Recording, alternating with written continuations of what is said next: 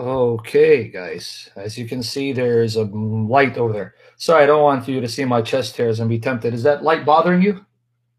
Is that light bothering you? Let's see. This way? No. Yeah, that's not okay. Should I turn off the light? I think so, right? Hold on. What a mighty God we serve. What a mighty God we serve. Is this too dark? Yeah, I think it's too dark. Hold on. How about now? Is this lighting okay? Is lighting okay? Or do you need more light? I don't know who's brother Josh, sheepwork. And are you a fan of brother Josh? Then I'll debate you. Who's brother Josh? As if I know brother Josh. Is it okay? If it's too bright, it may bother you guys. I'm at Child of God's home.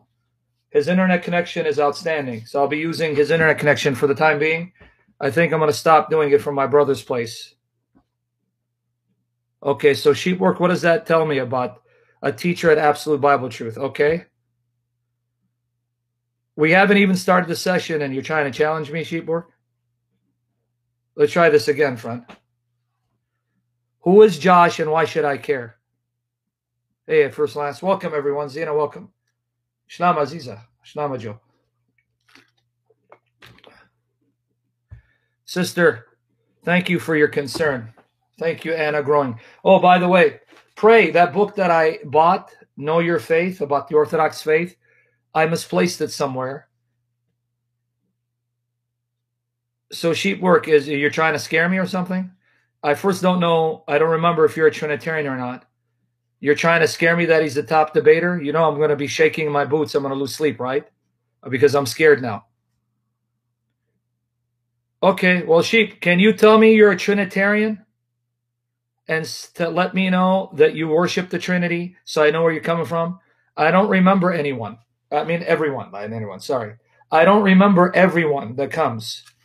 So here you start off saying, when are you going to debate Bro Josh? You even called him Bro Josh. If you're a Trinitarian, why do you call an anti Trinitarian your brother? See, this is where you confuse me, you see? Hey, are you going to debate Bro Josh on the Trinity? I don't call anti Trinitarians my brothers.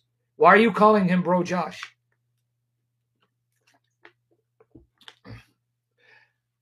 Sheep, I'm on a count of five because I want to start the session positive. I want to start it in a loving manner in a very humble manner where I'm kind to my brothers and sisters and gracious and patient with them because you already started on the wrong foot with me. So I'm on the count of five, calm down because I don't want to have to say bye bye to my friend sheep. Okay. Pins and needles, needles and pins. A happy man is a man that grins.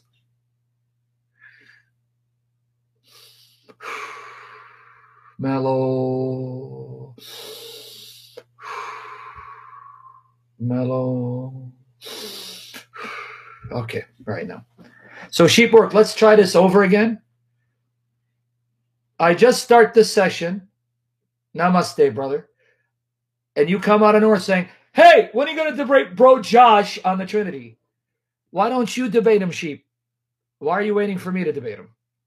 Why do you think I'm God's gift to apologetics? That I have to debate everyone and anyone? Because somehow I'm the proof of Christianity? Sheep, you need to go bah.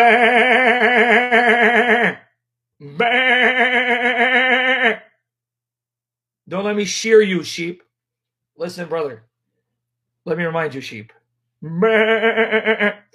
Let me remind. How about this? We have a saying in Assyrian Slimun susuch. In Assyrian, we say to someone who's high and mighty, we say Slimun susuch. English, come down from your horse. Get off your horse.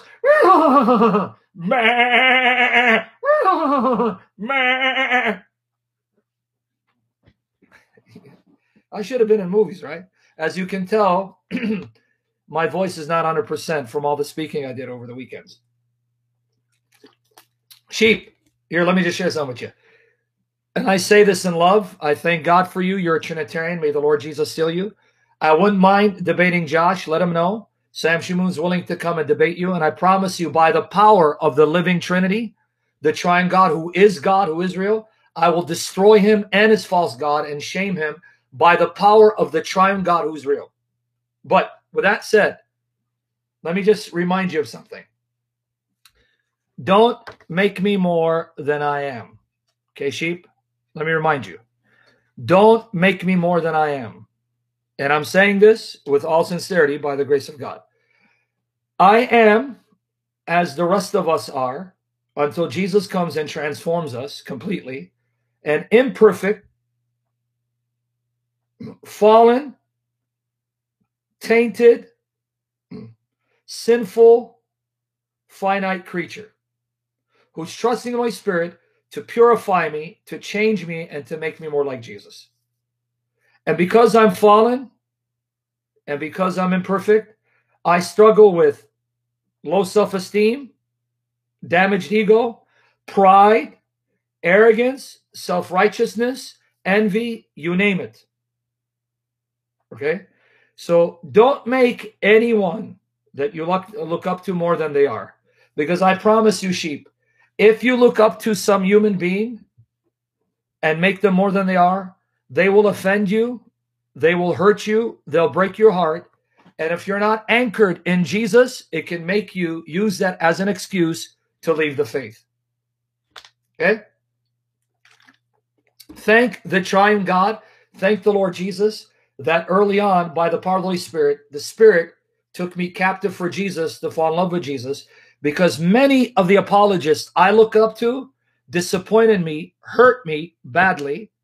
But because my hope wasn't in them, it was in Christ, that just made me despise them. And God heal my heart. And I will disappoint you. You guys see that. I will hurt you. I'll offend you. Now I don't I don't want to do that, but don't make anyone more than they are. Don't make anyone more than they are. You can't make enough of Jesus.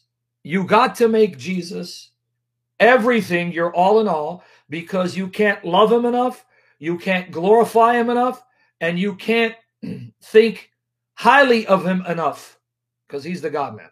Okay?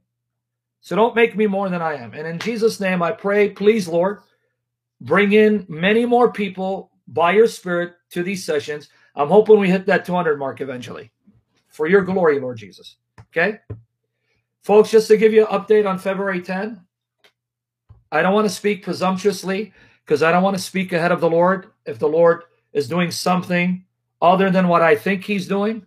May the Lord have mercy and be patient with me and save me because of his grace and love, not because I deserve it. I found out from a brother, a dear brother in Christ who's helping me in Illinois because I'm not there, that that judge that's supposed to preside, she's been gone for a week. She wasn't there last week. She wasn't there today. She won't be there tomorrow. And it's not because of vacation. She's just gone for now. I'm hoping that's a sign of Jesus that he's answering your prayers and he's doing something behind the scenes, something miraculous. That's what I'm hoping and that God will show up in a mighty way and deliver me to be free, free to serve Him without any fears, you know, without any stress. So pray for that. Yeah, yeah, say Christian. My brother in Christ was there, for a whole week. She wasn't there today. She won't be there tomorrow. It's not because she's on vacation. Ya ala ya Please, Lord. I hope something's happening. Sai Christian. And Sai Christian can tell you, he's here. I'm a little more open about my situation, but Sai Christian, can you tell people how wicked and evil and satanic this judge is, that she's of the devil? Can you confirm that, brother, so they don't think I'm just talking? He's right here, I'll tell you. Beautiful sounding language. Are you making fun of me? Hope not. No, I just want him to confirm because people say, Sam, you're too much.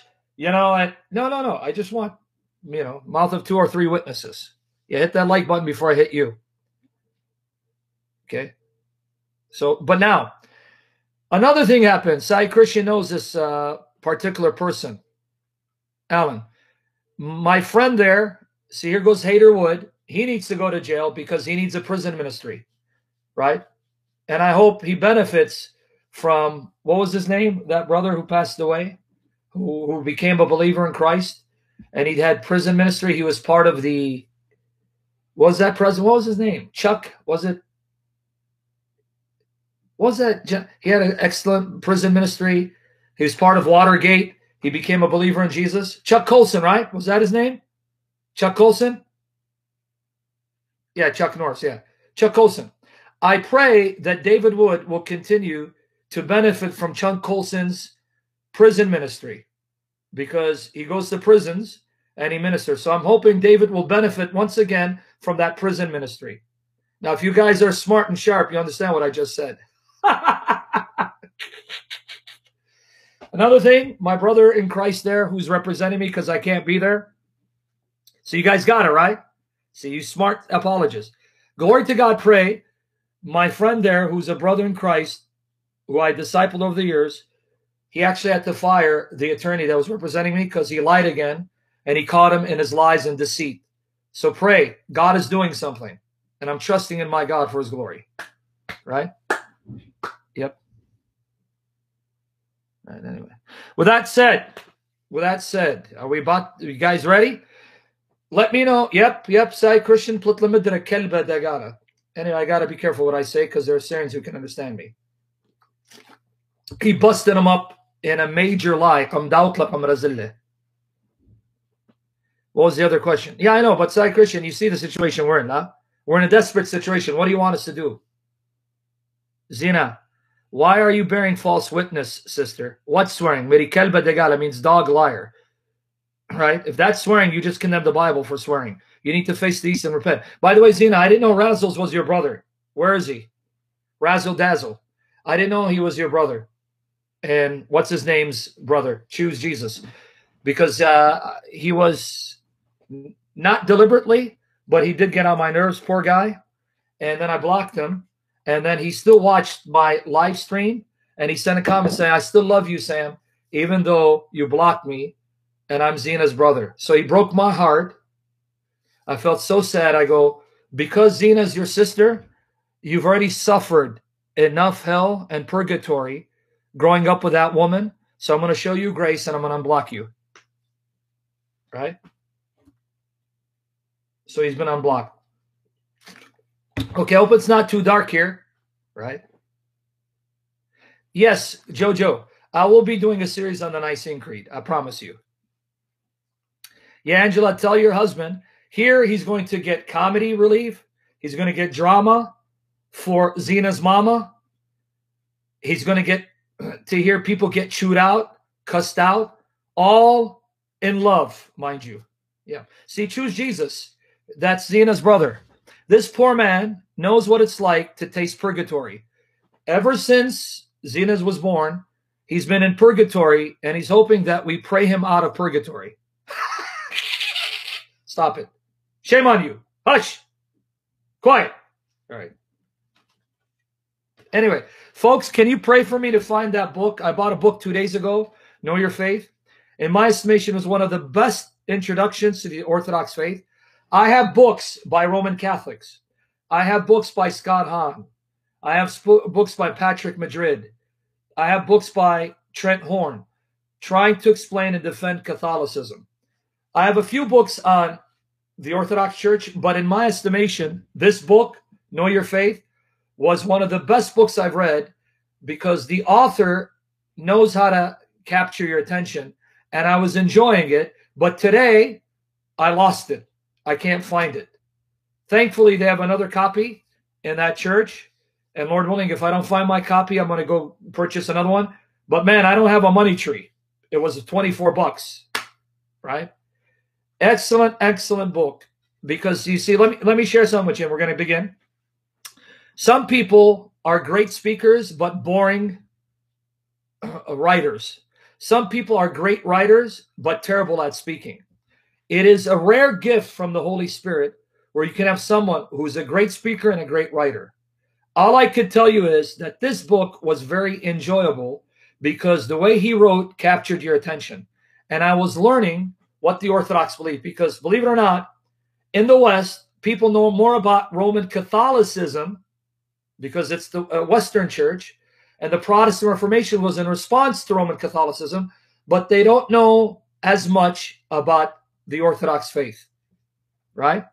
They don't know. Now, I picked this up at that church, Saint Haralambos Greek Orthodox Church. Someone's wondering, ma'am was wondering, who's Saint Haralambos?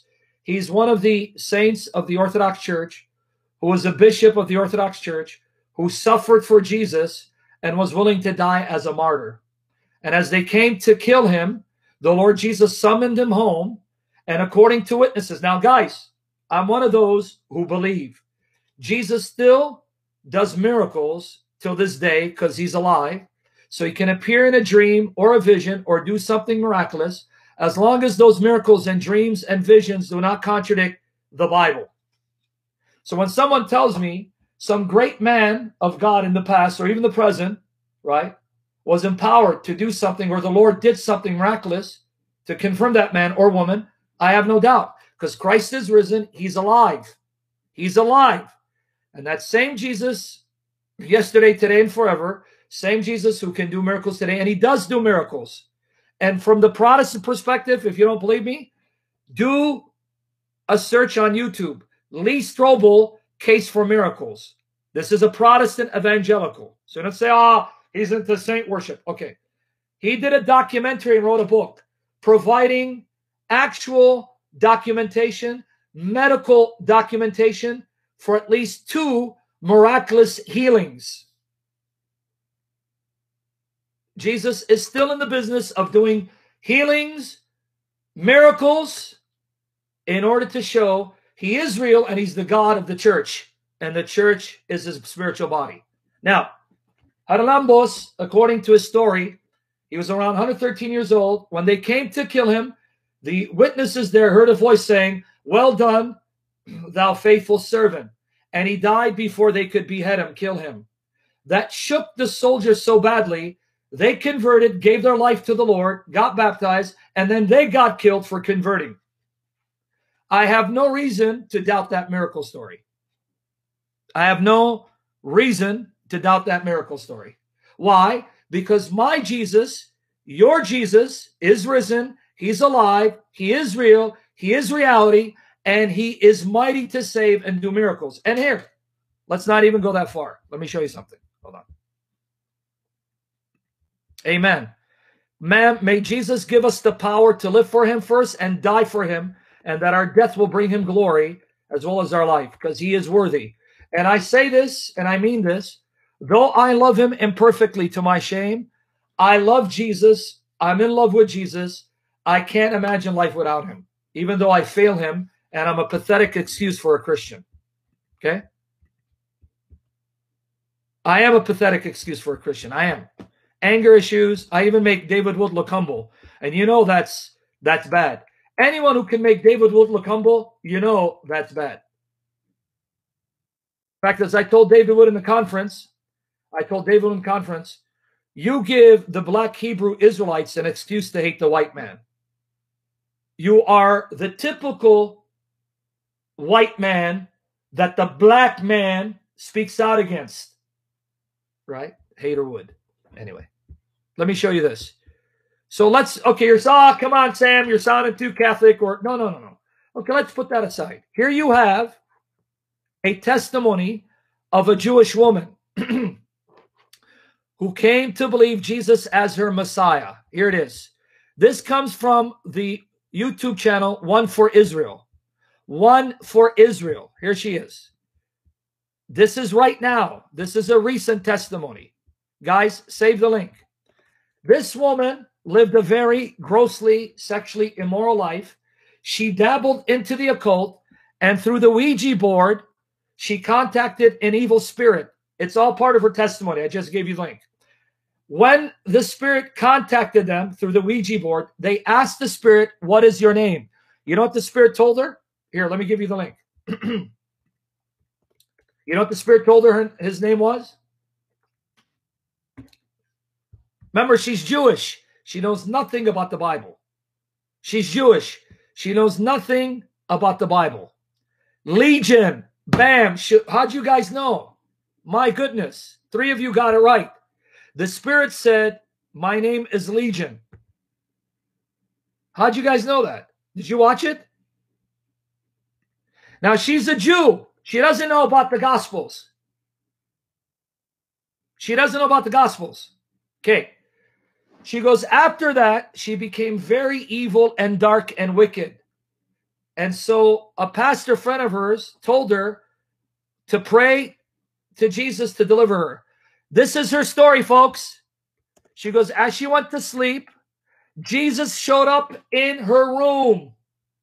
He showed up in a vision. This is her story. And she said, Who are you? And he goes, I'm Jesus. She goes, I'm Jewish. Right?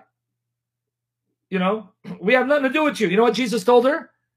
He goes, I am Jewish too, and you're mine. I am Jewish too, and you are mine.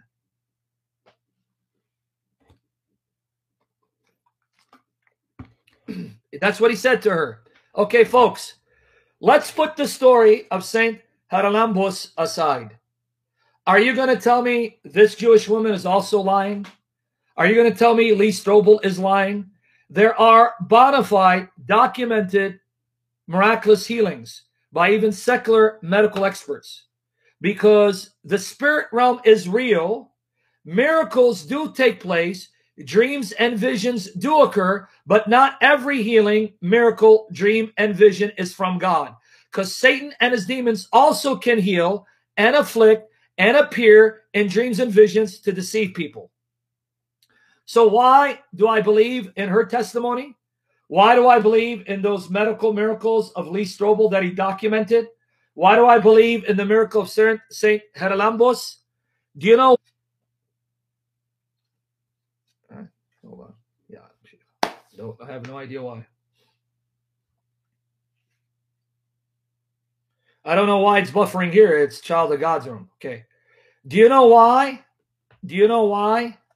I believe in their stories. Do you know why? Because they are Trinitarians who worship the one true God, Father, Son, Holy Spirit, who worship Jesus as the God man, who believe the Bible, Old and New Testaments, are the inspired, inerrant words of the true God. So why would I reject their miraculous stories? Let me repeat. There is a spirit realm and it's real. So not every dream, vision, and miracle is from the triune God. Sometimes Satan can appear in a dream, in a vision, or evil spirit to deceive you and do something miraculous. So how do I distinguish bona fide miracles from satanic deception? You know how? You guys ready again? You want me to repeat? How do I? Because when you have someone like this great man, Saint Haralambos, a Trinitarian who spent all his life worshiping the Trinity, worshiping Jesus as the God man, believing that the Bible is inspired word of God. The Gospels are inspired revelations of historical Jesus, who affirmed the death and physical bodily resurrection of Jesus and return of Jesus. I have no reason to doubt that Jesus did a miracle for this man. Sure he can, Zena. But did you hear my answer, Zena? I just answered you again. Even here now, is this too? Yep. Sorry, guys, I don't know. Uh, Child of God has top-notch internet, and I'm by the router, and it's buffering. I don't know. It's because it's probably raining here. Over here, it's raining, which is unusual. So keep praying for the connection. Okay. So did you hear my answer? How do I distinguish? How do I distinguish a bona fide miracle from the triune God from a satanic counterfeit? Because of the belief of the person or the message of that dream or vision. Clear?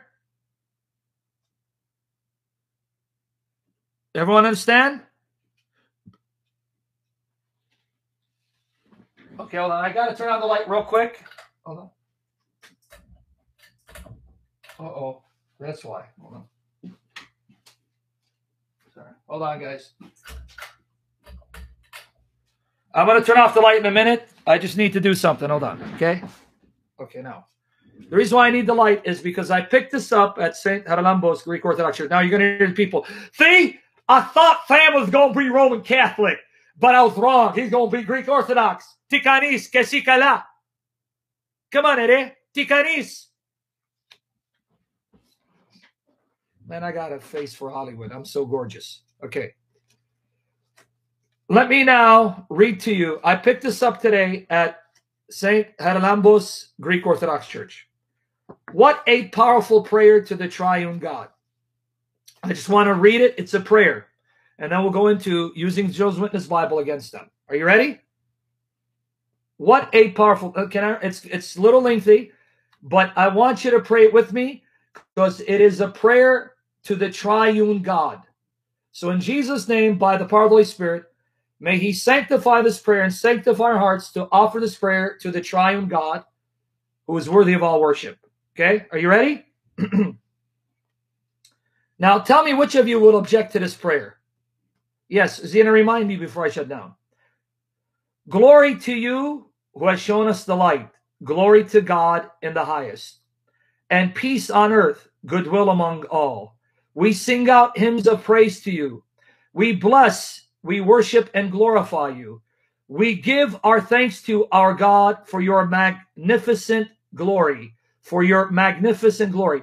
Lord, King, Heavenly God, Father Almighty, Lord, the only begotten Son, Jesus Christ and Holy Spirit. Lord, God, the Lamb of God, the Son of the Father, who takes away the worldly sin, have mercy on us. You who took away the sins of the world, you who are seated at the right hand of the Father, receive our prayer and have mercy on us. And we're praying it by the power of the Holy Spirit from our hearts to you, O God. Receive this prayer from us. For you alone are the Holy One. You alone are the Lord Jesus Christ, to the glory of God the Father. Amen. Every day I will bless you and praise your name forever and to the ages of ages. Grant, O Lord, that on this day we may, we may be kept without sin. Let me repeat that because this is our prayer. Grant, O Lord, that on this day we may be kept without sin. Blessed are you, O Lord, God of our fathers, forever and ever. Your name be praised and glorified. Amen. Lord, your mercy come upon us, for we have placed all our hope in you. Blessed are you, O Lord, blessed Lord. Teach me your commandments. Blessed are you, O Lord, blessed Lord. Teach me your commandments. Blessed are you, O Lord, blessed Lord. Teach me your commandments. From generation to generation, O Lord, you have been our refuge. I said, Lord, have mercy on me. Heal my soul, for I have sinned against you. Lord, unto you I have fled. Teach me to do your will, for you are my God. For with you is the source of life, and in your light we shall see light. Extend your loving kindness to those who know you. Holy is God, holy and mighty, holy and immortal. Have mercy on us. Holy is God, holy and mighty, holy and immortal. Have mercy on us. Glory to the Father and the Son and the Holy Spirit, now and forever and to the ages of ages. Amen. Holy and immortal, have mercy on us. Holy is God, holy and mighty, holy and immortal, have mercy on us. Salvation to the world has come today. Let us sing to him who is risen from the dead, the author of our life, for he has conquered death by death. This victory he has given us and his great mercy. Anyone object to this prayer? Anything wrong with this prayer? Any, anything wrong with this prayer? Or an amazing prayer to the triune God?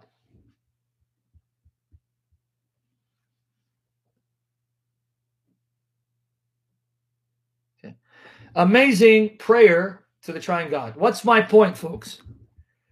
Be open to learn from all the different branches and flavors of Christianity. Pray to the Holy Spirit. Say, Holy Spirit, you protect me from error and falsehood. Guide me into all truth and give me the grace to accept something true no matter from what tradition it comes from. You want me there? Pray that prayer and trust the Holy Spirit to guide you into all truth. Right? Ever since I prayed that prayer, God has opened doors and allowed me to see things that before I refused to see. And I feel free, free to trust in the Holy Spirit, free to let the Bible say what it says. I feel free. Right? I don't feel bound to make the Bible agree with a certain theological system anymore. You know, I, I'm free to explore and to trust and believe. Right? So, anyway, with that said, pray I can find that book. Right? Pray I find that book, Know Our Faith. It was an excellent book. I was going to finish it, man. And today I lost it. I don't get it. May the Lord purify my heart, sanctify my heart, O Lord Jesus. Sanctify my heart and my motives by your precious blood, by your spirit. Grant us all your heart, Lord Jesus. Our hearts, may it be your everlasting throne, and the hearts of our loved ones. The hearts of my daughters are your throne, Lord Jesus. Sanctify us, sanctify me in this session. Lord Jesus, I ask you, fill us with your spirit. Give us the power to trust in you, to love you, to hope in you, to cleave to you, to cling to you, and never doubt you, Lord Jesus. You are life. You are alive. You are real. You are the Son of the Father. And you will come, and we will see you, Lord Jesus. Strengthen my voice, Lord Jesus, my lungs and my chest. Bless this session. Anoint me, recall your words, Lord Jesus, and interpret them perfectly by the power of the Spirit. Bless your church, your body that's present, born of your Spirit, born from your love, Lord Jesus. Seal us Teach us, perfect us by your Spirit. Save us from attacks of the enemy, distractions from the enemy. Clothe us with your righteousness. Seal us in your love. Surround us with a wall of fire from your Holy Spirit. Our loved ones, my daughters, Lord Jesus, love them as only you can love them. Bring them to me and set me free from these shackles so I can be free to serve you, Lord Jesus. And I ask, Lord, by your power for every one of us, Give us the power to live for you, and if necessary, die for you, that our life will bring you glory that you deserve, and our death will glorify you still. We love you, Lord Jesus. We don't love you enough to our shame, but give us the grace to love you more and more. Trust in you, Lord Jesus. To trust in you, Lord Jesus. Lord, have mercy. Lord, have mercy. Lord, have mercy. Son of God, virgin born son of Mary, the root and offspring of David, have mercy on us, Lord Jesus. Kyrie eleison, Kyrie eleison, Kyrie eleison. In Jesus' name, amen. Kyrie eleison is the Greek for Lord have mercy.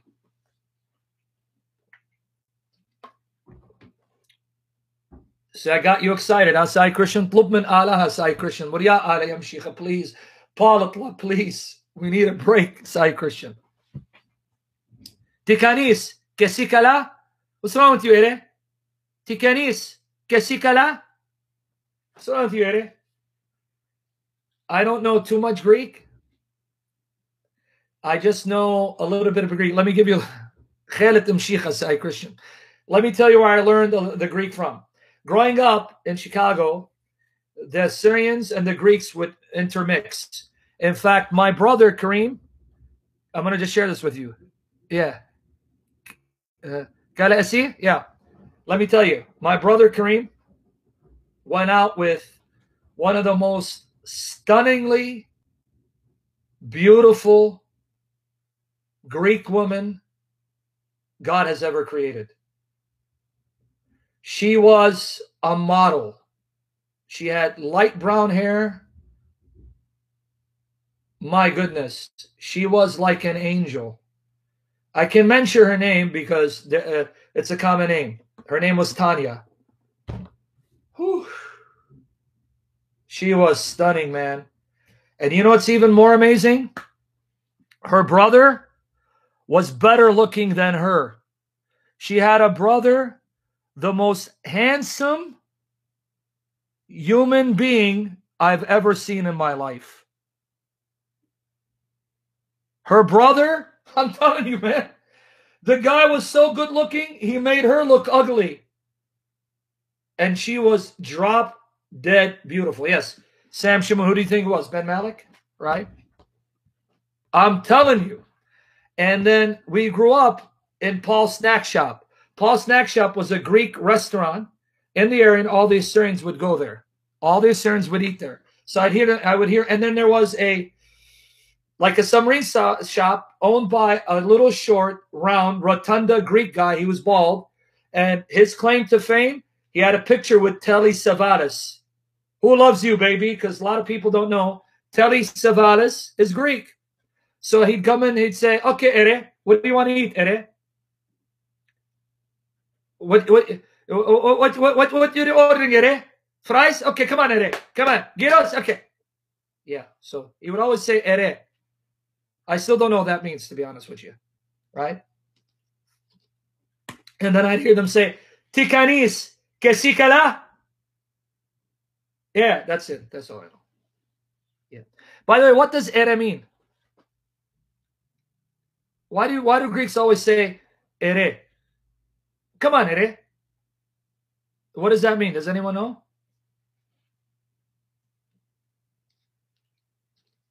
So he's shouting at me? That little round rotunda of a Greek guy who was bald? He was the rudest dude in the planet, but boy, did he make some great food. That's why I used to come back. Yeah. I'd sit there and look. Come on, Eddie. What do you want, Eddie? Right? Okay, anyway. All right. With that said, Lord be glorified. Are we ready? Let me know if you want me to stop the series, Joe's Witnesses in the Trinity, or continue until I provide a thorough, thorough case showing you what verses to use to prove the Trinity. Because you know what else I want to do? I want to start all the series I started. I want to finish. What's up, brother? God bless you and Lord willing. But I want to start a new series, the biblical basis for the Nicene Creed. So what I can do is, starting maybe next week, begin that series, the biblical basis for the Nicene Creed, and then I'll go back and forth. John Witness Bible, Nicene Creed, and God willing, I will do John. Okay. Posus, Elenes, Eche, Edo, Re, Paidia. Paidia. Paidia. That means child. All right. Okay. Gris Dino. Oh, hey, Chris. Guess what her brother's name was? His name was Dino. Man, Chris. Her name was Tanya, and her brother's name was Dino. I just remembered. Your name just uh, just clued me in. Boy, what a hand. Dude, let me tell you something. I know it's going to sound weird to saying this man's a Christian, talks like this.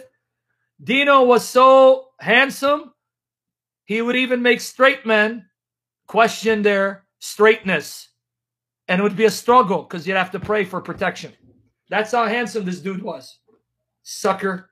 Man, dude, where do why couldn't I have his parents? Why couldn't my mom and dad be Dino's mom and dad, Tanya's mom and dad, so I could have been a gorgeous Assyrian hunk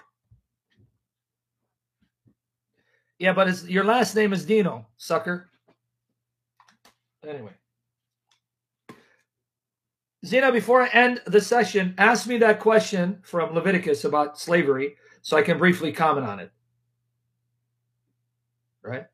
Everyone ready? Yeah, but I could have been a good looking Sam Shamoun.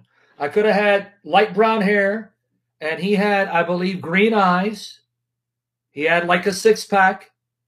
Second be Sam will look like that, right? He had a six pack and I have a keg. Six pack and I have a keg. All right, there. Okay. Let's begin, folks. Are you ready? Are you ready now to explore the Jehovah Witness Bible and use it to glorify the triune God? Yeah. Constantinos out of the emperor's. Oh, that's where the name comes. Constantinos. Okay, now we're good. Okay, folks, I could have been a gorgeous Assyrian. This is the first thing I hear clicking on this live stream. Why are you hating, Luis? Uh, Luis, why hate? Why don't you just pray? Or are you saying, I am a, a gorgeous Assyrian hunk? Jerkins! By the way, I hope my daughters watch this. They love when I do this. Jerkins! Jerkins! Jerkins! Jerkins! One thing I have noticed though, even though I get skinnier all over my body, my head still is an oversized, you know, melon head. That's the only thing that doesn't shrink is my head. With that said, let's begin. Before I even do that, even though we had a lot of internet problems yesterday, was the message still clear enough? How even in the Jehovah Witness Bible, the book of Revelation is a nightmare to the Jehovah's Witnesses because the book of Revelation, even in their perverted Bible, goes out of its way to depict God, meaning the Father, Jesus the Lamb, as the one true God Jehovah. They're not the same person, but they're the same God. So I hope at least that was clear enough that even though with all the technical issues. And again, I want you to pray for first and the last. Amen. Pray for Protestant believer, for the mods, pray for a child of God, because these men are making it possible for me to do this. Protestant believer and first last are starting now to beatify the YouTube page. They're adding thumbnails. They're adding, you know, verses in the background. They're going to help me to make it the best I can possibly make it, and they don't get paid for this. And child of God is allowing me to inconvenience him in his own home using his internet. None of them get paid for this. They do it because they love Jesus. So pray for them. Pray for their prosperity in Christ. Now, with that said, let's continue using the Jehovah Witness Bible to demonstrate to demonstrate that even in their perverted Bible, Jesus Christ is clearly depicted as Jehovah God in the flesh. Okay, let's go to Hebrews. Let's start in Hebrews. Let's start in Hebrews. And then, Lord willing, maybe next week we'll begin the biblical basis for the Nicene Creed. And I'll ask you at the end of this if you want me to start it next week, God willing, and then go through the Gospel of John, chapter by chapter, verse by verse. And hopefully, as we keep working on this, we're going to get a thousand like Hater Wood does. You know, that hater. All right. Hebrews, let's go to Hebrews 1. Let's read Hebrews 1, verses 2 to 3. You guys ready for some meat?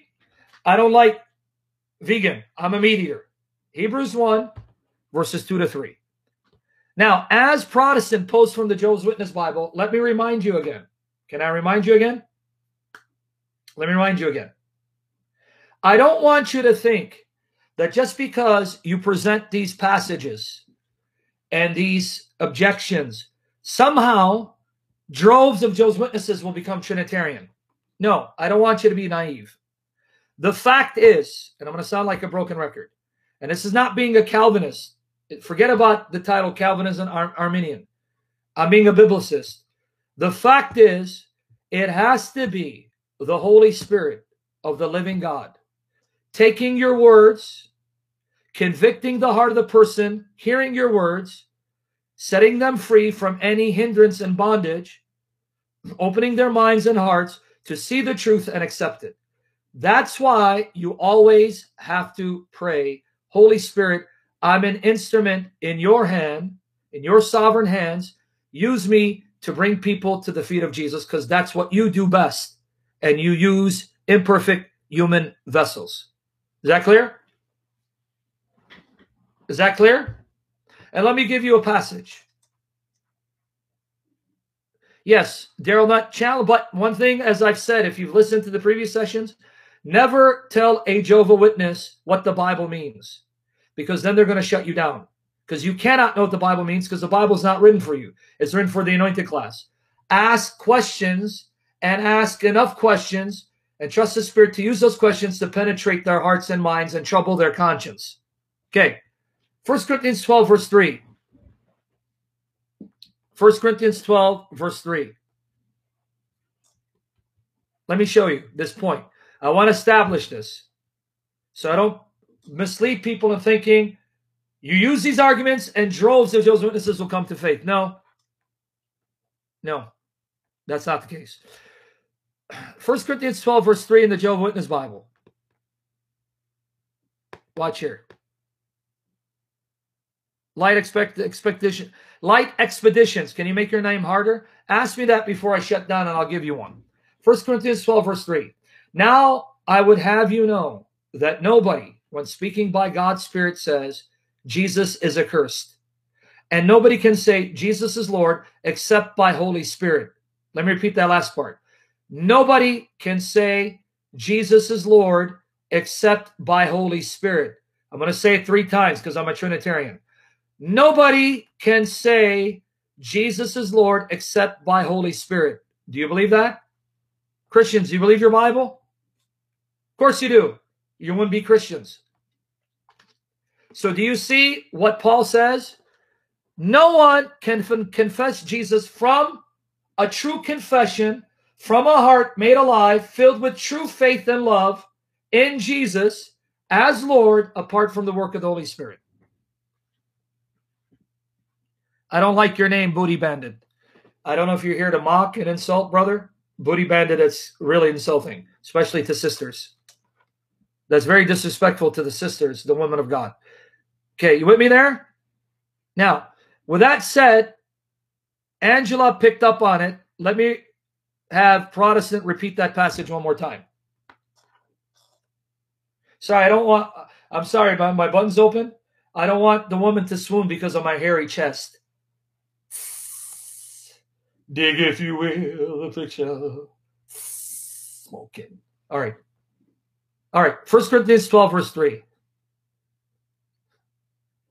I was imitating Prince right there. And ironically, Prince was a Jehovah Witness. Dig, if you will, the picture.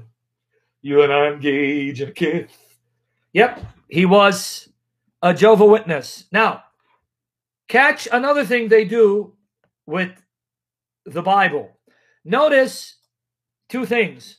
Nobody can, nobody can say Jesus is Lord except by Holy Spirit. Notice two things. Number one, there is no definite article before, before Holy Spirit.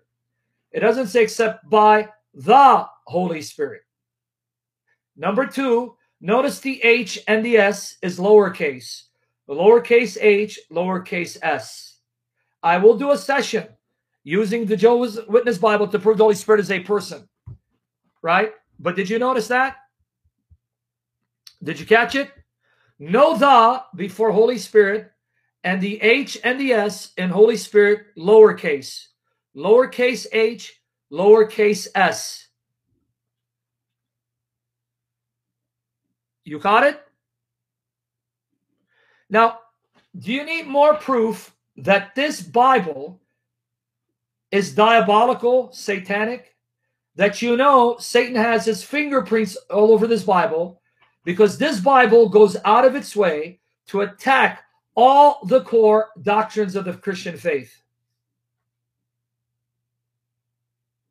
This is perhaps the most diabolical satanic Bible in the market. Because there are Bibles that you can see Satan's influence. This one is the most blatant with me so far? Because I'm trying to help you understand how to use their Bible, how not to use their Bible. Uh, Kel London, don't pontificate here because I'm going to muzzle you like a dog and embarrass you. So shut your mouth and listen. Jesus is your God and your judge. Live with it. Okay. Now, let me show you another example of tampering with the Bible. Okay. One example. This is all part of the session to teach you how to most effectively witness to the Jehovah's Witnesses. Because you want to see them get saved, right? Or you believe that Jesus didn't come to save Jehovah's Witnesses. He only came to save your family and your church. Jesus came to save the world. That includes the Jehovah's Witnesses, the Muslims, the Hindus, the atheists.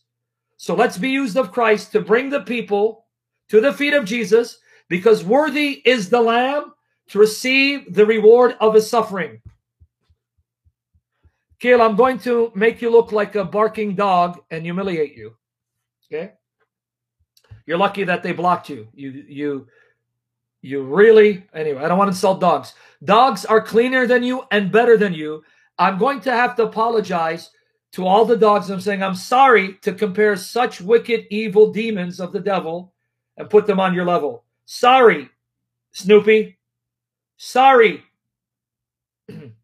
What's his name? Scooby Doo. Uh, also, I don't mean to insult them. They're cleaner than these than these demons.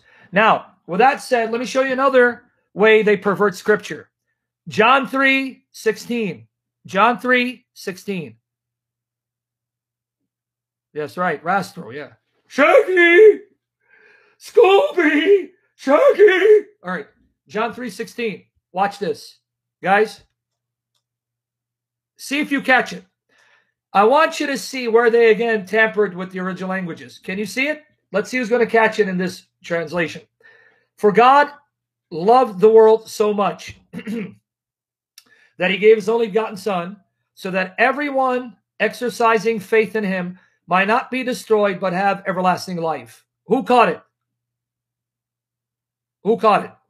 Who caught the deliberate manhandling of the Greek? Nope, it's not destroyed. No, guys, come on. You're not seeing it? Try it again. For God so loved the world, for God, say that's King James, loved the world so much that he gave his only begotten Son, so that everyone exercising faith, exercising faith. Do you know why? The society teaches you must exercise faith. What is exercising faith? You must do the things that the society tells you to do and perhaps Jehovah will be pleased enough to give you immortality. Exercising faith, not whoever believes in him or has faith in him. Whoever is exercising faith. So, uh, Jehovah Witness, how do I exercise faith? Doing what the society tells you to do. You caught it?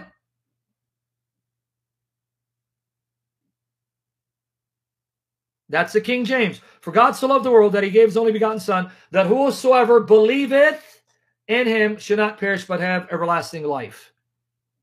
You guys caught it there? So you ask the Joe Witness, what does it mean to exercise faith? If you have faith, then you're going to exercise faith, right? Put it in practice by doing what the society teaches you.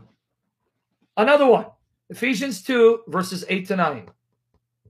I hope you're learning about this cult, what they believe, and about their perverted Bible. Okay? I'll explain that in a minute, Zena. Ephesians 2 8 to 9. Notice their translation. By this undeserved kindness, you have been saved through faith, and this not of your own doing, rather it is God's gift. No, it is not the result of work, so that no one should have grounds for boasting. Now, believe it or not, this one caught me off guard. It's rather impressive. Hmm. Now, well, yes, this one they didn't drop the ball. I'm I'm impressed. Here they impressed me, folks. I got to admit, I thought they tampered with this, but quite impressive. Notice that they translated grace as undeserved kindness because a lot of people don't know what grace means. So they're giving you the meaning of the Greek, right? Because even when you say grace, a lot of people don't know. Pretty impressive. Here, Joe Witnesses, you get a thumbs up. But here, let me show you John 11, 25, 26. John 11, 25, 26. Okay. John 11, 25, 26. Watch here. And then the Jehovah Witness Bible. Jesus said to her, I am the resurrection life. The one who exercises faith in me, even though he dies, will come to life. And everyone who is living and exercises faith in me. So it's like an aerobic dance class. One more, two more, three more. Exercises faith in me will never die at all. Do you believe this? So, folks, you got to do some spiritual aerobics. It's exercise. One more. One more prayer. One more verse. One more door. One more pamphlet. That's right. Come on. You can do it.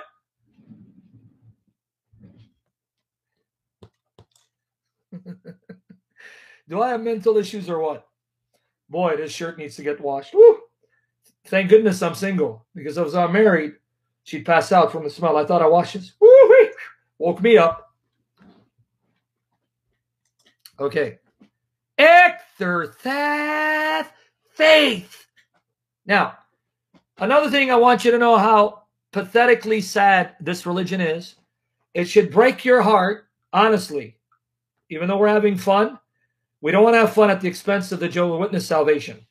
It should break your heart. There's about 8 million people who've bought into this wicked satanic system. It should make you sad. Sad. There are people who actually believe this is Jehovah's organization, this is Jehovah's Bible, and this is Jehovah's path to be saved. They've been deceived, and you are the one that God can use to bring them out of their deception by the power of the Holy Spirit. Two more things, because this I need you need you to know what they believe, right? Because I'm giving you bits and pieces through each, each session. Did you know the Jehovah's Witnesses celebrate the Eucharist or what others would call the Lord's Supper only once a year? Do you know when? On the eve of Passover. When the Jews celebrate Passover, that's when the Jehovah's Witnesses will have the Lord's Supper. Others call it Eucharist. But here's where it gets sad. You want to really get sad? It's only once a year on the eve of Passover when the Jews celebrate, because they'll tell you that's when Jesus celebrated it.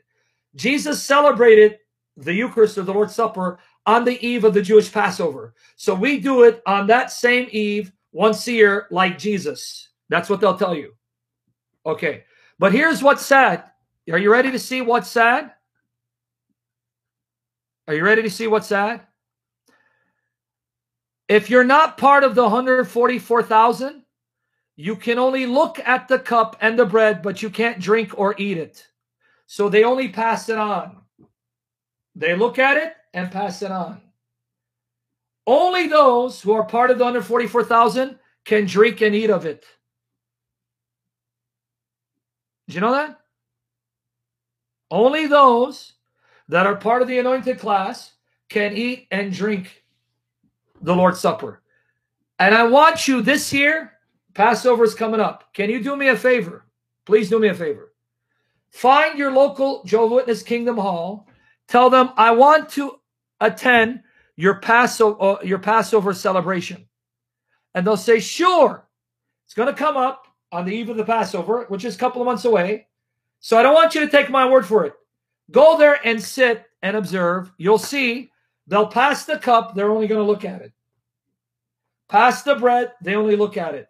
And he asked them, how come none of you are eating or drinking? They'll tell you because this was given only to the anointed class, whoever is part of the 144,000.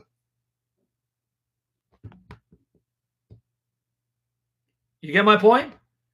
How pathetically sad, heartbreaking this society turns out to be. You get my point? So, even though we laugh, for the 8 million Jehovah's Witnesses who've been raised in this religion, it's not a joking matter. It's heartbreaking. So may the Spirit break your hearts for all of them, for all the lost, and ask the Spirit, use me to save these people out of this satanic system right? Now, the final thing to confirm what I said earlier, without the Holy Spirit, no one can get saved. Let's now look at one pa more passage from their translation. John 16, 7 to 11.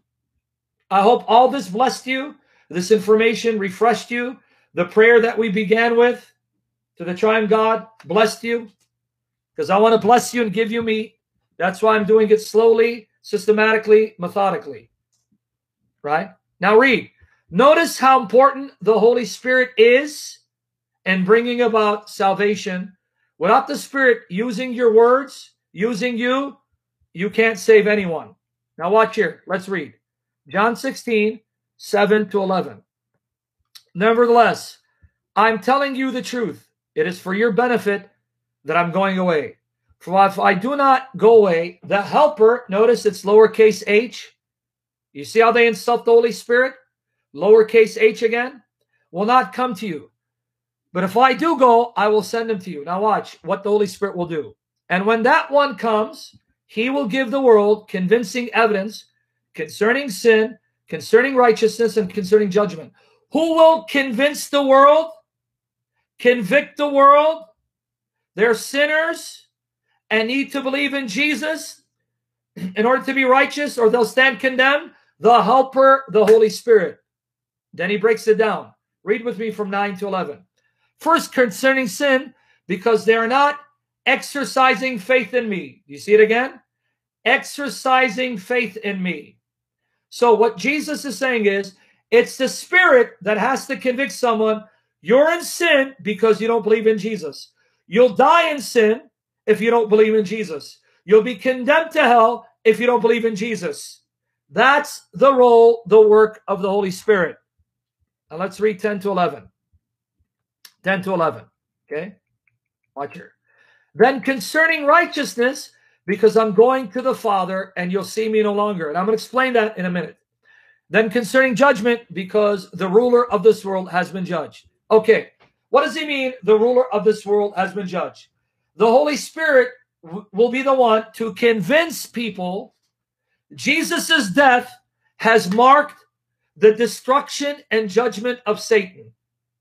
His death on the cross and resurrection marks the end of the rule of Satan so that his fate is sealed.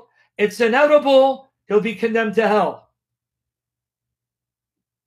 And now Satan has no power to accuse us anymore because Jesus took the debt of our sin, leaving Satan powerless to accuse us because every time Satan says, look at the sin he committed, Jesus says, It's been paid by my blood. He belongs to me. He's acquitted. You cannot bring any charges against him or her anymore. You are powerless to accuse them, and you stand condemned. Clear? Before I move on? You understand what it means? Satan stands condemned by what Jesus has done because Satan's weapon against humans is the law. What do I mean? And I'm going to do a session on this, but here I want to whet your appetite. According to the Bible, Satan's power against you is the law of God. Everyone listening now? Everyone listening? Satan's power against you is God's righteous, holy law. How can he use the righteous, holy, spiritual, perfect law of God against you because you break it. Because you break the law, God says the soul that sins shall die. And what is sin? Breaking the law. Every time you sin, Satan is there as the prosecuting attorney saying, see, he broke your law. And if you're righteous and holy, you got to do what you said will be done. He has to die. If you're really holy, you got to condemn him to hell. You get it? You understand what Satan's doing? Satan is using God's own law and his own word against him. Wait, God, you're holy, righteous, and judge, uh, just, and you cannot lie. You don't change your mind. You said, whoever breaks your law dies.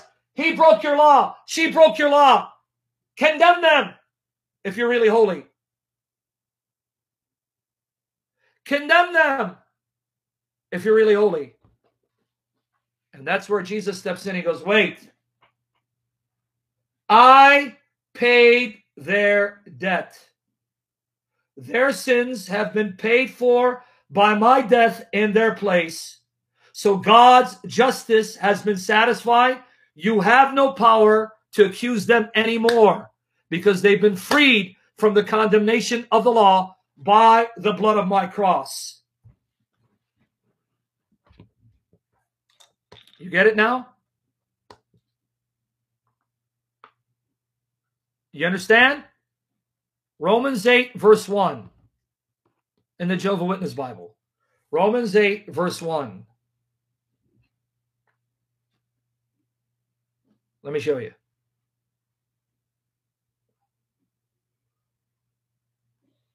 The Jehovah Witness Bible, because we're using their Bible against them. Not right now, Walter Jesus. You want me to go off topic? Why do you keep doing that, brother? Therefore, those in union with Christ Jesus have no condemnation. Therefore, those in union with Christ Jesus have no condemnation. Romans 8, 31 to 34. Romans 8, 31 to 34. I hope this is blessing you because you're learning so much about the Jehovah Witnesses, their Bible, and learning about your faith. We're killing several birds with one stone through these series. Thank the Holy Spirit for moving us to do these, these series. Okay, Romans 8, 31 and 34. What then are we to say about these things? Guys, guys read in their own translation. If God is for us, who'll be against us? If God is for you and he's acquitted you and paid the debt of your sin, and he's now lavished on you the salvation of Christ, who then can condemn you when the judge jury, and executioner, they're all on your side because the judge, jury, and executioner are Father, Son, Holy Spirit. And they've acquitted you when you turn to Jesus. Now, Romans 8 32. Since he did not even spare his own son, but handed him over for us all, will he not also, along with him, kindly give us all other things? And I'll come back to that in a moment. Lisa, Let's not get into the differences in the denominations and how they understand these passages, because now you're going to start an in-house debate among Catholics, Orthodox, Protestants, and here we go off topic. Allahu Akbar! Allahu Akbar.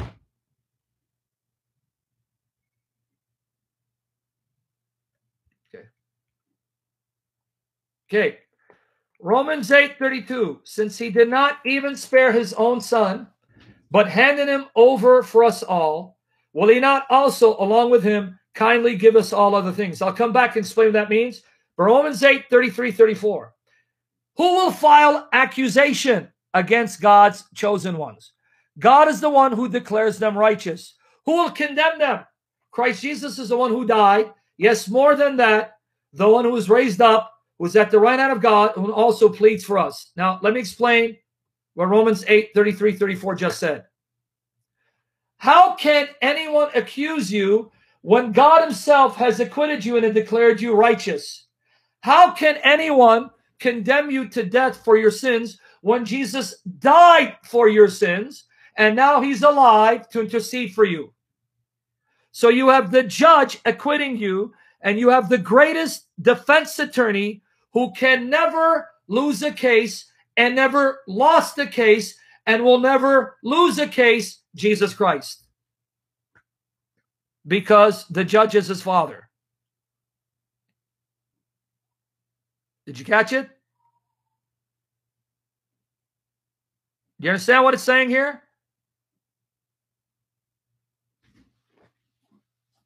Did it sink? I want to make sure it sinks in before I move on. Paul said, who can accuse you? God the Father has declared you righteous. He's acquitted you. Who can condemn you to die? Jesus died for your sin. And he's been raised to intercede. Pleads. You know what that means? Anytime Satan says, yeah, that Netta, look, look at her mouth. Look what's coming out. Jesus says, silence. The debt of her sin has been paid. I died in her place. She's been acquitted. You can't accuse her anymore. Get behind me. You understand what you're reading? Did it sink in? This is the Jehovah Witness Bible. Okay. Now let me explain Romans 8:32. Let me explain Romans 8:32. Let's look at it.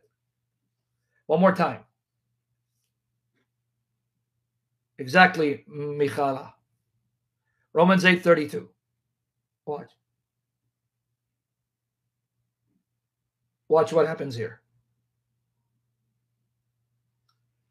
In the Jehovah Witness Bible, we're waiting for our brother before the rapture. Since he did not even spare his own son, but handed him over for us all, will he not also, along with him, kindly give us all other things? Now, you know what he means by here? If God the Father gave up the one person he loves and adores more than anything, the only other one that he loves and adores just as much as the Son is the Spirit. The Father loves and adores the Son and the Spirit. He's in love with them. If God the Father gave up one of the two that he loves and adores more than anything, his Son, do you then think he's not going to give you everything else? He gave you his absolute best, most precious treasure, his very Son, his very heart. Everything else pales in comparison. So you think he's not going to give you immortality? You think he's not going to give you the world as a possession? When that's nothing in comparison to what he already has given up for you? This is an argument from the greater to the lesser. God has given you the absolute most precious person to his heart along with the Spirit. He's given you his son. Everything else pales in comparison. So if God was willing to give you his best, you would better believe he's going to give you everything else. You understand Paul's logic? Everyone understanding his logic here? Thank you, Maureen. Pray. Is it sinking in before I move on? Because I want to make sure you understand it and you can use it this in any Bible, but you're seeing how you can use the Joe's Witness Bible to prove your case. Right? Now, what does John 16 10 means? What does that mean? John 16, verse 10. And I'm going to show you Jesus in the Old Testament silencing Satan's accusations against one of God's elect. I'm going to show you that right after this in their Bible. Then concerning righteousness, because I'm going to the Father and you will see me no longer. Now, let me explain what Jesus means here. The Holy Spirit will be the one to convince people of this righteous thing. He'll do it. Without the Spirit, you won't be convinced. Notice it says that the Spirit will convince the world of righteousness, and he explains what that is, because I'm going to the Father, and you'll see me no longer. Let me explain what he means. As far as the world is concerned, the world of unbelievers, at the time of Jesus, even now, for example, a Bart Ehrman or a Tovia Singer, they think when Jesus was killed on the cross, that either because he deserved it or it was simply a human being who posed a threat to the powers and they just got rid of him. And end of story. End of story. There goes Jesus. He's dead and gone. What Jesus is saying is it will be the Spirit to show you I didn't die on the cross for any sin I committed, for any crime I couldn't committed, or because the powers that be overcame me. I died to save you. I died in your place to take your punishment, not because I'm wicked. I died because you're wicked. I died in order to pay for your sin because I'm righteous. And here's the proof. I didn't die for any crime or sin of my own. God raised me to life, made me immortal, and now I dwell in the presence of God, proving I didn't die because I'm a criminal. But who will convince you of that? That Jesus is righteous and he didn't die because of any unrighteousness? The Holy Spirit.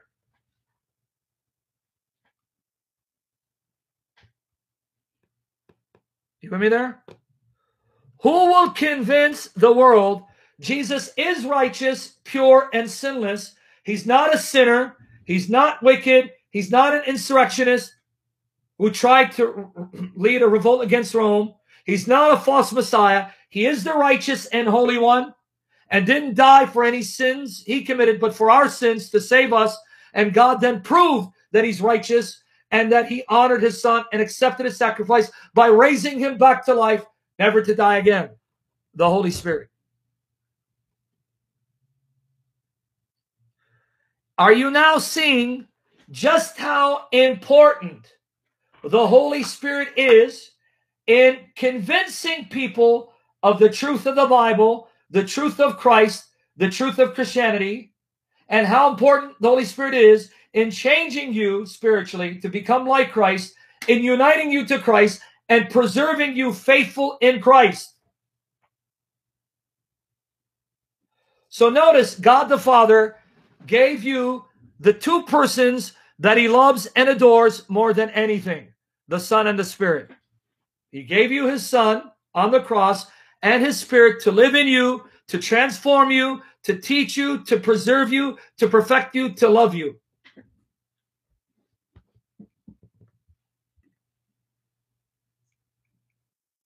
Did it sink in? Did it sink in for everyone? Let me repeat again. The Father gave you the two persons he loves and adores more than anything, anyone. The two persons who are his heart. His son on the cross, which Jesus voluntarily accepted. Yes, Father, I'll go to the cross because I love and adore all that you love and adore. And his beautiful Holy Spirit to now live in you, teach you, correct you, perfect you, set you apart, and preserve you. Did it sink in? Notice again, it's a triune work. Notice again, it's the Trinity. There's no fourth person or fifth person. It's God, Jesus, and the Spirit, Father, Son, Holy Spirit. Are you seeing the Trinity? Notice there's not a fourth person or a fifth person. It's only these three and these three alone. Is that a coincidence? Or is that why we're Trinitarians? Because the God who loves us, who made us, creates us, sustains us, provides for us, saves us, is triune.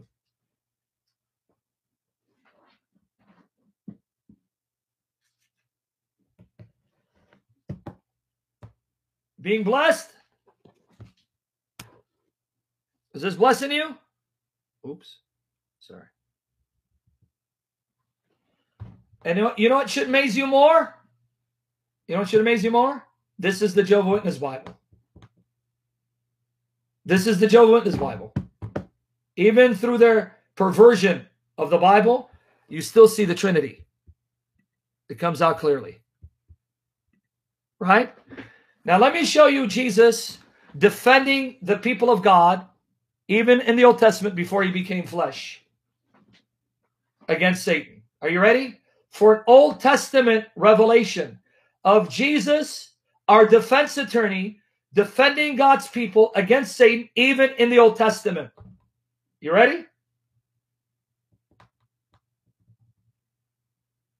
I want to know if you're ready. now, here's what you need to do you need to go on my YouTube channel, look for the series I did, Angel of God in the Old Testament. I did two parts on it, I believe. The Angel of God in the Old Testament and then go to answeringislam.net. Look for my articles on the Trinity in the Old Testament, the angel of the Lord, and also look for Anthony Rogers articles on answeringislam.net on the angel of the Lord, Malach Yahweh, and a series on the angel of the Lord on David Wood's YouTube channel because we give you ample proof, even from the Jehovah Witness Bible, the angel of God in the Old Testament is not a creature. He's called an angel because an angel is a messenger. He's the messenger sent by God. So he's distinct from God, but he happens to be God, does things that only God can do, claims to be God, and is worshipped as God. And even God acknowledges he's God. And we've given you ample proof that angel is Jesus Christ, appearing in the Old Testament before he became flesh. I will do a series from the Jehovah Witness Bible proving that. Okay? I will do a series proving that the angel of Jehovah in the Old Testament is not a creature. He is God Almighty who becomes Jesus Christ, and I'll use the Jehovah Witness Bible to prove it. You want me there? So I can't give you all that evidence for now. But I want to show you this angel is Jesus before he became flesh And he's not a creature, he's God Almighty who can do only what God does. With that said, let's now look at Zechariah 3, verses 1 and 2 in the Jehovah Witness Bible.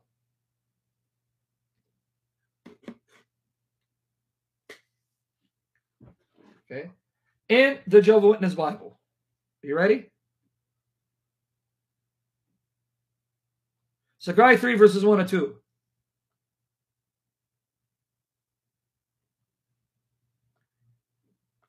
Okay, read with me. Right here, sorry. And he showed me Joshua, the high priest, standing before the angel of Jehovah. Now, notice how many figures in this vision Joshua, the high priest, standing before the angel of Jehovah, and Satan was standing at his right hand to resist him. Okay. Angel, Joshua, Satan. Only three. Guys, one more time. Angel, Joshua, Satan. Only three in heaven. This is a heavenly vision. He's seeing a heavenly vision. Then the angel of Jehovah said to Satan, May Jehovah rebuke you, O Satan. Yes, may Jehovah, who has chosen Jerusalem, rebuke you. Is not this one, God bless you, brother. Is not this open, one open, open. a burning log snatched out of the fire? Now let me explain what the angel just did. The angel said, Shame on you, Satan.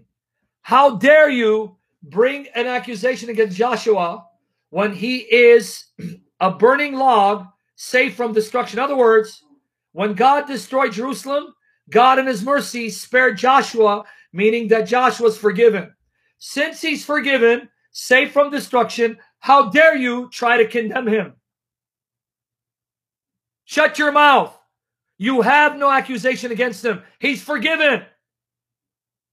You understand what the angel just did? The angel interceded and defended a man of God. Sound familiar? Who does this sound like? He just came to the defense of Joshua against Satan, silencing Satan, saying, You have no grounds to condemn him anymore. Who didn't get it? It's like you're silent. Does that sound familiar? Did everyone get it?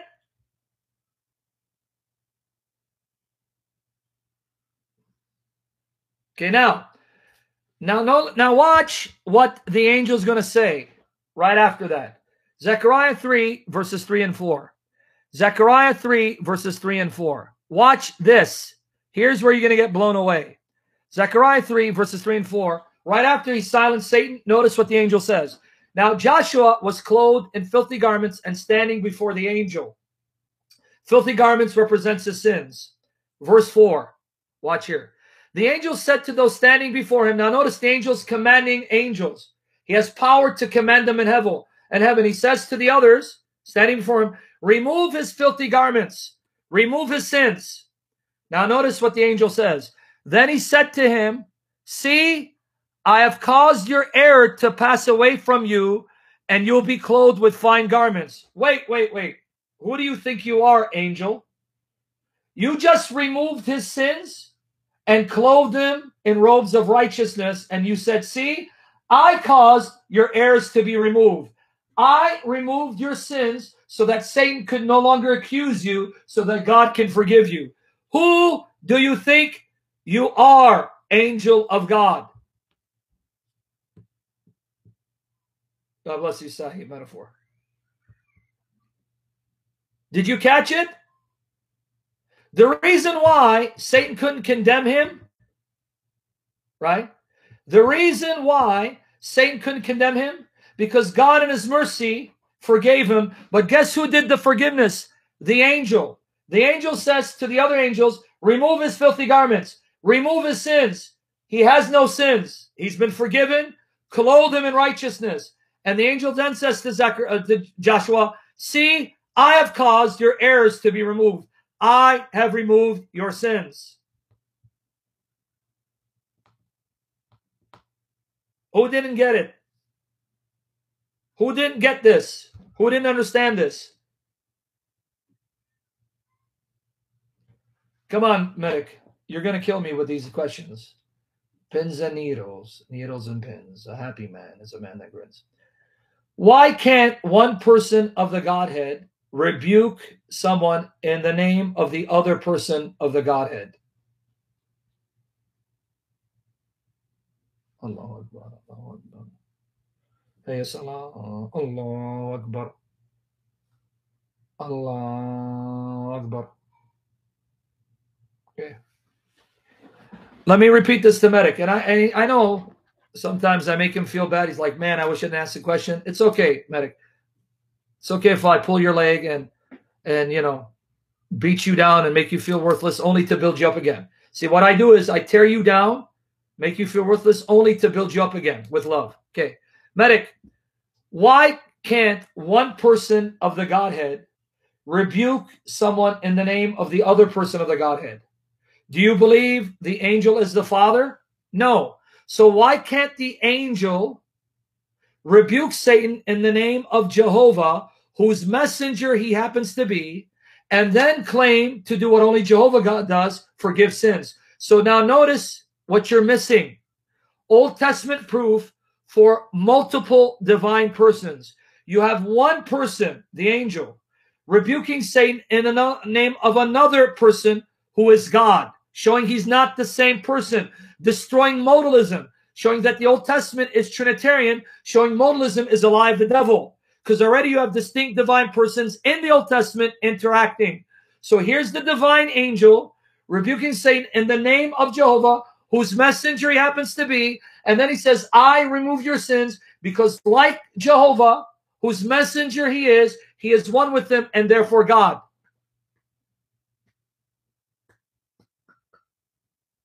So why would you not see it as a glorious truth?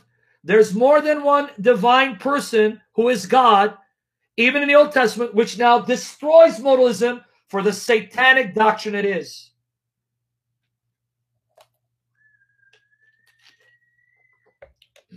Right?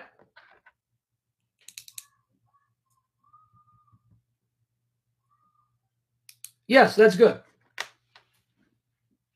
Yes. Medic, you don't run to Jude chapter 1, verse 9 to show that Michael rebukes Satan in the name of the Lord because Michael knew enough that to oppose Satan by his authority and oppose it on this passage when in the context the angel does something that no creature can do, not even Michael, forgive sins, remove sins. You focused on the wrong part. Jehovah rebuke you, but you forgot the next part. I have caused your errors to be removed. I removed your sins, meaning I can forgive sins, something only God can do. You catching it now or no?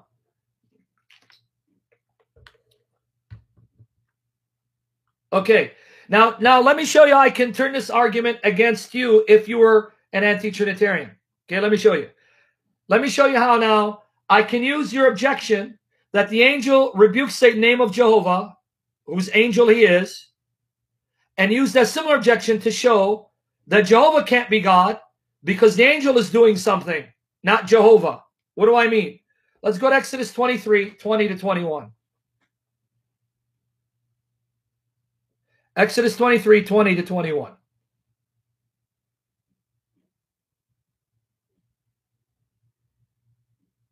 Okay. I am sending an angel ahead of you. This is Jehovah speaking. Pay attention, medic. I am sending an angel ahead of you to guard you on the way and to bring you into the place that I have prepared. Pay attention to him. Wait, Joe, why don't you say pay attention to me and obey his voice? Why not obey your voice, Jehovah? Do not rebel against him, for he will not pardon your transgressions, for my name is in him. Jehovah, you're confusing me. Why won't he forgive them? Why don't you say you won't forgive them? Why are you deferring to someone else? See, that's the kind of question you're asking me. God bless you, Daniel. May you stay out of Joe's witnesses and be a follower of the true triune God, Father, Son, Holy Spirit. You get my point? That's what you asked me. So I can ask uh, that, Jehovah, why are you having the angel forgive? Why don't you simply say, I won't forgive you? Why are you deferring it to him? because that's how the members of the Godhead talk and interact with one another. So Jesus could say, I won't accuse you, the Father will accuse you. And God could say, listen to the angel or he won't forgive you. That's why you're Trinitarian. So what's the problem?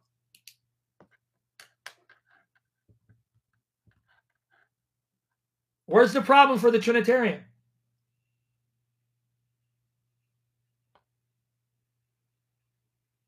Yep. The angel of the Lord, his name is Jehovah, God, the Word, the Son. So when you say he has no name, what you meant to say, he doesn't have a name of a creature because the angel of the Lord is Jehovah. He is God. He is God Almighty. He's the mighty God. He is the Word of God. He is the Son of God, right? Yeah. Well, not secret. No, no, no. Pins and needles, needles and pins. Judges 13, 18, the word pali means it is beyond comprehension. It is beyond understanding. It's wonderful. Lopez, that's the same word from which we get wonderful counselor. The word wonderful counselor, Isaiah 9 6, the word wonderful is from Pele, which comes from the same word in Judges 13 18, Pali.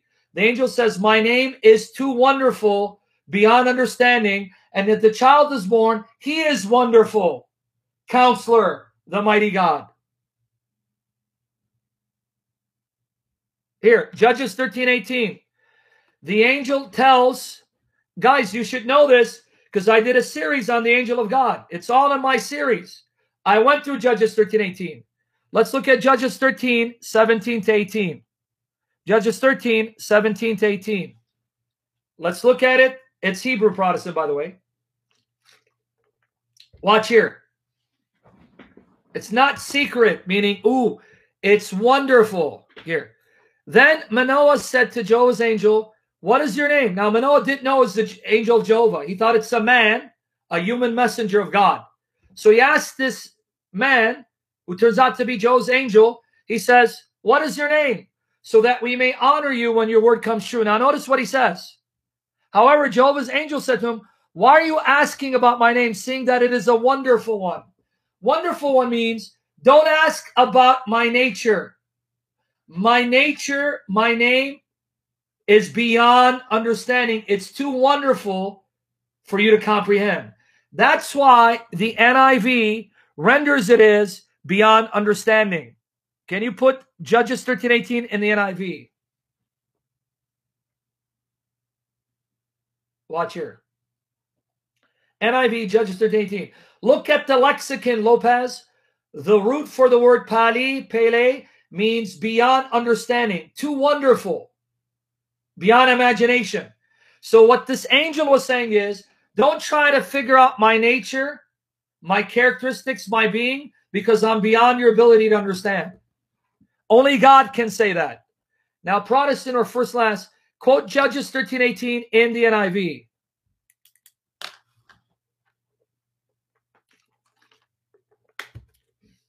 I hope you're learning a lot, folks. Still using Joe Witness Bible to prove the Trinity. Exactly, Lisa. It means it's ineffable. You're Right.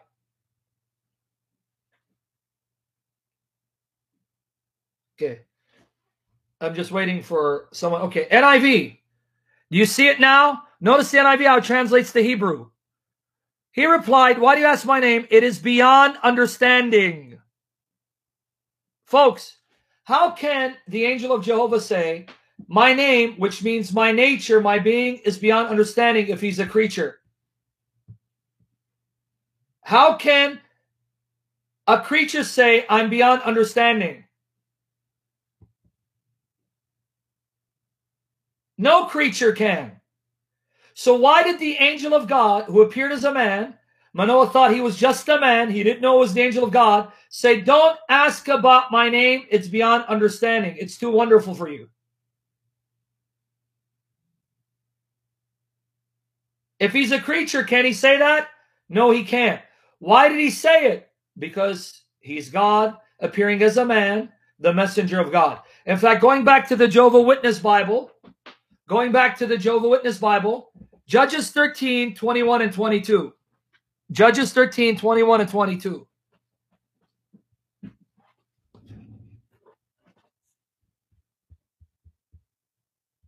This is the Jehovah Witness Bible. Jehovah's angel did not appear again to Manoah and his wife. Now, note, folks, note, folks, verse 21. Z and everyone else, pay attention to what 21 says. Then Manoah realized that he was Jehovah's angel. Notice what it didn't say. Manoah realized that was Jehovah. He knew that was the angel of Jehovah. He knew it. He figured out that man was the angel of Jehovah. But then explain to me his response in 22. Manoah then said to his wife, We are sure to die because it is God whom we have seen. So the Jehovah Witness Bible got it right. It left it capital G. It is God whom we have seen. Wow. Uh, Mr. Jehovah Witness, the text says that was a man, right, who was the angel of Jehovah. So the angel of Jehovah appeared in visible form, in human form as a man. It says Manoah knew it was the angel, but then Manoah said, We saw God when we saw that man who's the angel. Why did Manoah call that angel, appeared as a man, God? And now he's afraid because he knew to see God is to bring death. Latin. I would expect that you don't chime in too much, brother, so you can pay attention and follow along because now you're going to make me waste time on shutting down that argument. You cannot identify the agent as the one he represents because according to that stupid response, even though you're not giving that response as a Joe Witness, since Paul was Jesus's agent, I could call Paul, oh my goodness, I saw Paul, meaning I saw Jesus Christ, the Son of God. So don't try to play the Jehovah Witness role because I will shut it down and I don't want to waste time on things I've already addressed.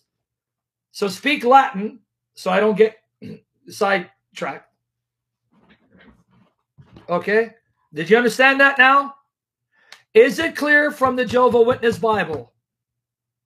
Is it clear? We got to send Latin out of here. Bye bye, Latin. I want you to go back to Rome and observe the Latin Mass. This is not for you, this channel. Okay. okay. Is it clear, even from the Jehovah Witness Bible, the angel of Jehovah, Medic, why are you unhiding him? Ach, Medic, you're going to get blocked too. Is it clear from the Jehovah Witness Bible that the angel of Jehovah is not a creature? They knew he is God. They called him God. So he is the visible appearance of God, and he does things that only God can do, forgive sins, from the Jehovah Witness Bible.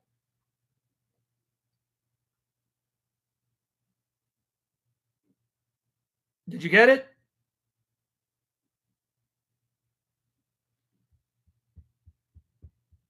I like George. Did you guys get it or no?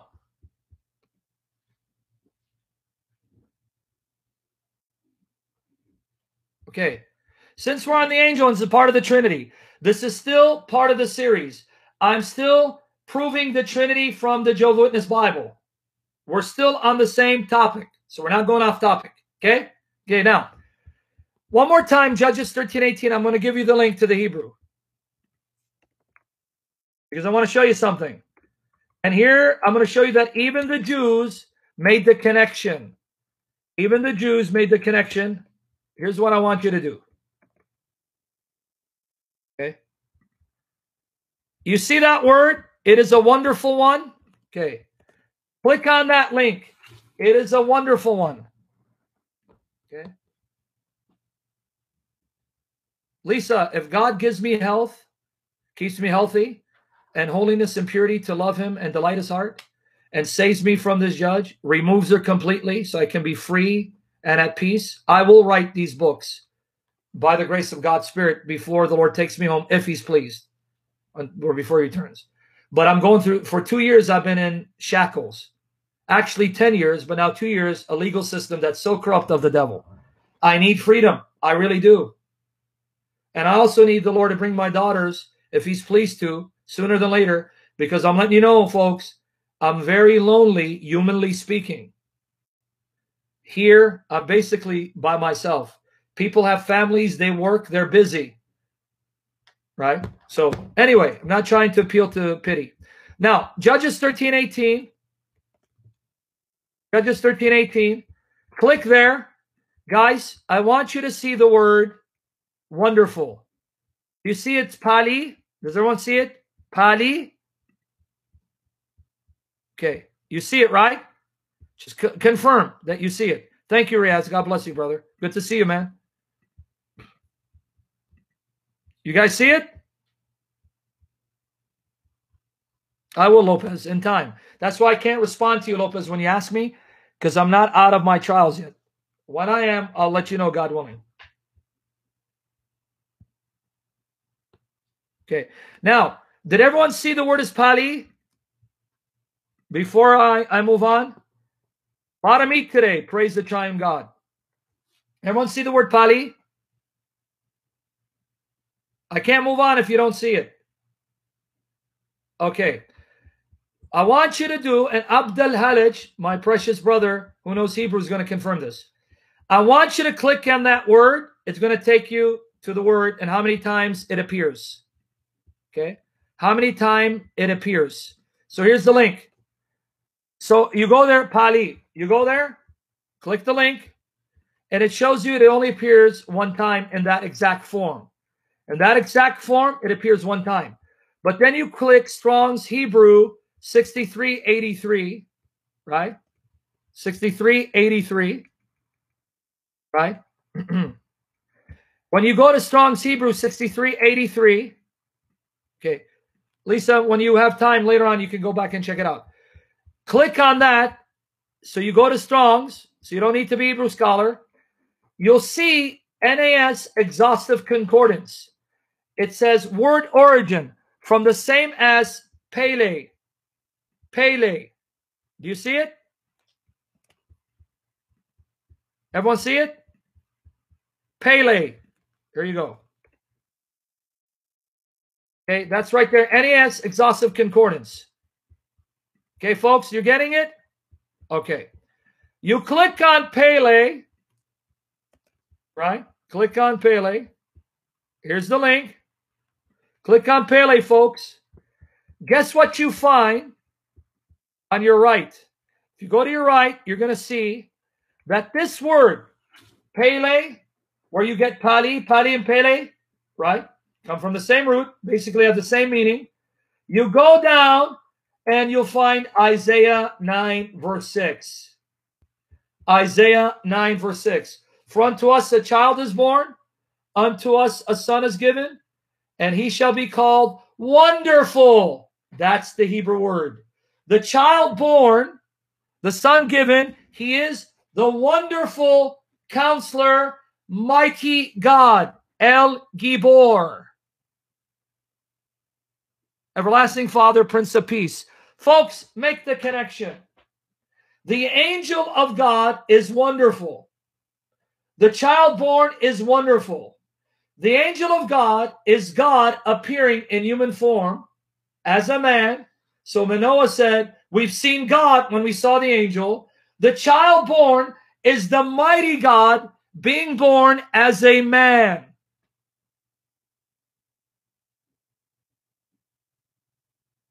Everyone getting the connection? In other words, you can now make a strong case. The angel of God, who is God that appears as a man, who's wonderful, becomes the child born, who not only now appears as a man, but becomes a man, a human baby, a human man, who is the wonderful counselor, the mighty God. So the angel appeared as a man but then becomes a man, taking on the nature of a man. In the Old Testament, he appeared as a man, didn't become man. But now he becomes a man when he's born as a human child. It's the same person.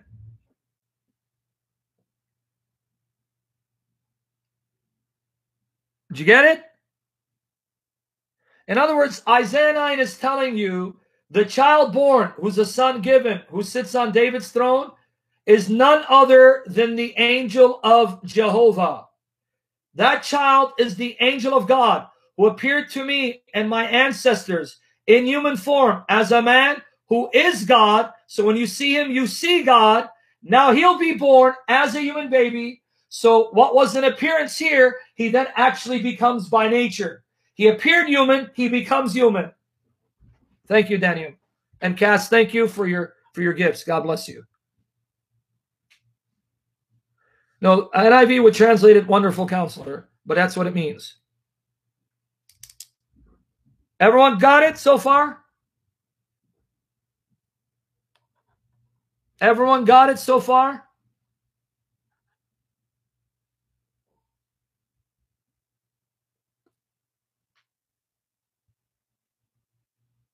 God bless you, medic. See you hopefully soon. And you can go back and re-listen to this. So that's the beauty of, of YouTube. Okay, eh, you get it? Now, let me show you something that's going to blow your mind even more. Going to blow your mind even more. The Jews translated the Old Testament into Greek for those Jews who couldn't read or write Hebrew or Aramaic. The Greek translation done by Jews is often more of a paraphrase where they give you the meaning of the verse as opposed to a little translation. How did the Jews translate Isaiah 9 6 in Greek? How did the Jews translate Isaiah 9 6 in Greek? God bless you, Calvin. Okay, here you go. Guys, get ready to be blown away. Most of you already heard this in the past because I've mentioned it. So did Anthony Rogers. But some of you may be hearing it for the first time. Okay, let me see if I can get all of it. Here you go. Here you go. Notice how the Jews translated Isaiah 9 6 in Greek. For a child is born to us, and a son is given to us, whose government is upon his shoulder, and his name is called the messenger of great counsel. Guess what the word messenger is in Greek? Angel. The child is the angel of the great council. Here, let me give you the Greek. Mageles, Boeles, Angelos. Mageles, Boeles, Angelos. Mageles, Boeles, Angelos. The word angelos is where you get the word angel, translated messenger. Folks, are you catching this or did I put you to sleep? The Greek translation of Isaiah 9, done by Jews, identifies the child as the angel of the great council. And the word council there can mean either in wisdom or the heavenly council. You understand what I just told you? You understand what that means? The Jews identified that child as the angel of Jehovah, the angel of God, being born as a human baby, becoming an actual human being. So I'm waiting for it to sink in before I move on to the next point. Anyone didn't get it? Z and everyone else, are you getting it? Sinking in? Jesus is that angel of God in the Old Testament no wonder Jesus does what that angel does. The angel does what Jesus does. God bless you, Walter. Watch over and preserve you. I don't know if Zena's still here because she had some questions. I don't know if True Jesus is here.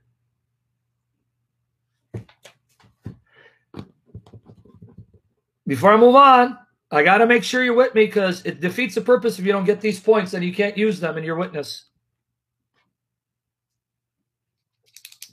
Everyone getting it?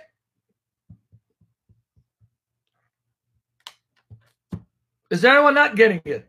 Even better. All right.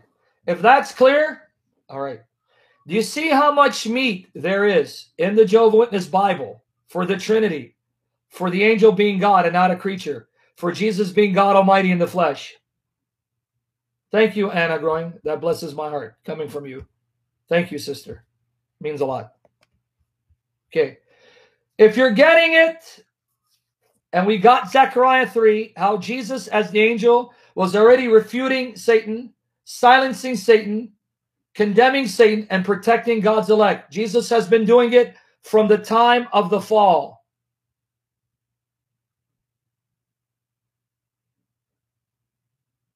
You understand?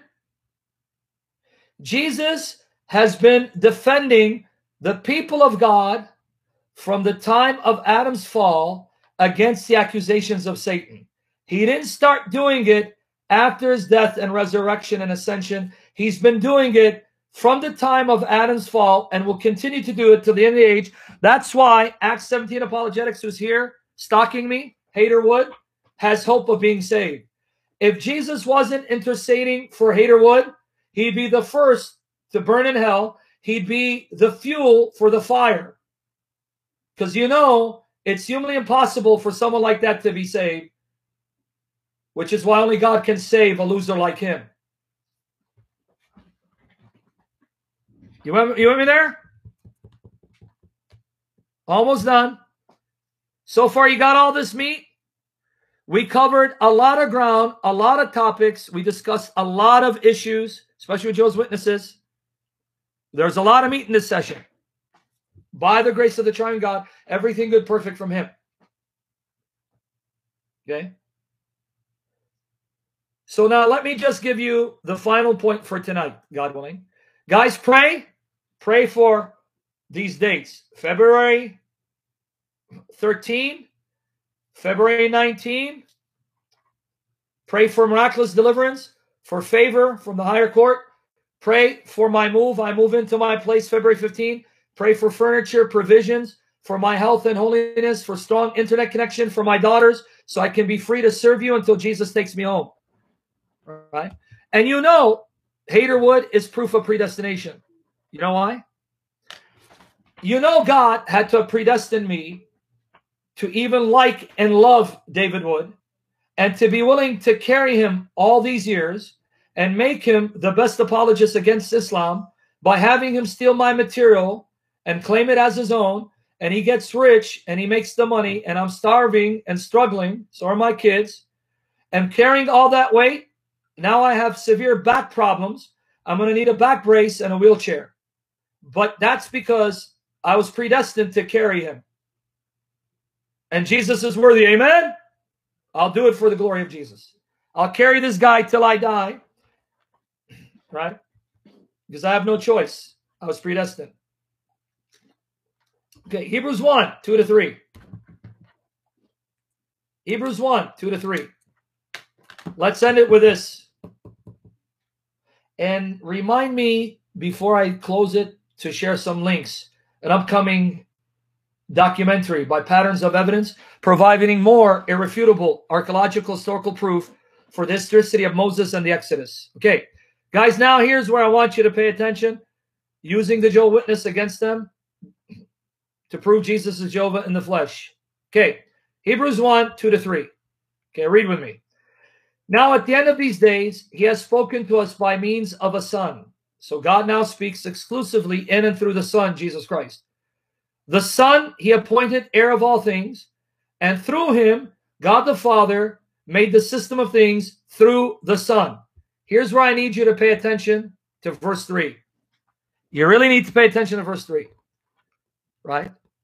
He is the Son, Jesus is the reflection of God's glory and the exact representation of his very being. And he sustains all things by the word of his power. And after he had made a purification for our sins, he sat down at the right hand of the majesty on high. Okay, let's look at Hebrews 1 3 again, the first part. Well, all of it, post it one more time. Guys, please make sure you get this argument and let me know that you got it. Because this is irrefutable. They won't be able to honestly refute this. They'll come up with something but you're going to see how weak and dishonest the response is. Okay, notice, not only is Jesus the reflection of God's glory, here's what I want you to pay attention. He's the exact representation of his very being. Okay, the word exact, and thank the Joe Witness for translating this way. Shake their hand and say, Thank you, Joe Witness, for translating it as exact representation. Okay. The Greek word even in their Greek interlinear, is character. where we get the word character. Character. Character, somewhat transliterate this way, okay, means the exact imprint, the exact duplicate, the exact copy, the exact representation of something. You with me there? That's what the word means. The exact imprint, duplicate, copy, representation of something. Okay. This will blow your mind away. And I've actually addressed it in my series on Jesus not being the Archangel Michael, but we're creatures of repetition. We need to hear something over and over again until it becomes second nature. Notice it says Jesus is the exact copy, the exact representation of God's being. Hypostaseos. Okay, let me ask you a question. Is God's being uncreated? Is God's being infinite? And isn't it true that part of God's being is that he's all powerful, all knowing, present everywhere? So the being of God is uncreated, eternal, infinite, and part of his being includes God having to be all powerful, all knowing, present everywhere. But wait, how then can Jesus be the exact copy, duplicate, imprint, representation of God's infinite, almighty, uncreated being if Jesus is a creature? No creature can be the exact representation of an infinite uncreated being because a creature is limited, temporal, and finite, and he cannot be the exact copy of God's infinite, almighty, uncreated being. But that's what Hebrews just said. Hebrews said, Jesus, his son, is the exact copy of God's being. Did it sink in? Everyone got it? But we have a problem, Jehovah Witness. Jehovah Witness, you tell me Jesus is the finite creature, the Archangel Michael. They tap dance around Zena. Try it. They'll tell you, no, it doesn't mean that. He's created. They tap dance around Zena. But now, you tell me Jesus is the Archangel Michael, a creature, and he's one of the sons of, the, of God, heavenly spirit sons of God who are created although he's the first. But Jehovah Witness, I have a problem. Because in Psalm 89, 5 to 8 in your Bible, it says, None of the sons of God resemble Jehovah. None of the sons of God are mighty like Jehovah. None of the sons of God are like Jehovah. Psalm 89, verses 5 to 8. The heavens praise your marvels, O Jehovah. Yes, your faithfulness in the congregation of the holy ones. Notice their Bible, verse 6. For who in the skies can compare to Jehovah? Answer, nobody. Who among the sons of God is like Jehovah? Answer, nobody. But wait, Jesus is. He's exactly like Jehovah. He's the exact copy of Jehovah's being. How could that be if he's a mere created spirit son of God? God is held in awe and the council of holy ones. He is grand and awe-inspiring to all who are around him. O Jehovah God of armies, who is mighty like you? Nobody is. O Jah, your faithfulness surrounds you. Okay, now, Joe Witness, I'm really confused. None of the created spirit sons of God are mighty like Jehovah, resemble Jehovah, or are like Jehovah. None of them. Yes. But Jesus is exactly like God the Father, the exact copy of God's God the Father's infinite uncreated being, and he's just as mighty as the Father is. How if Jesus is a created spirit son?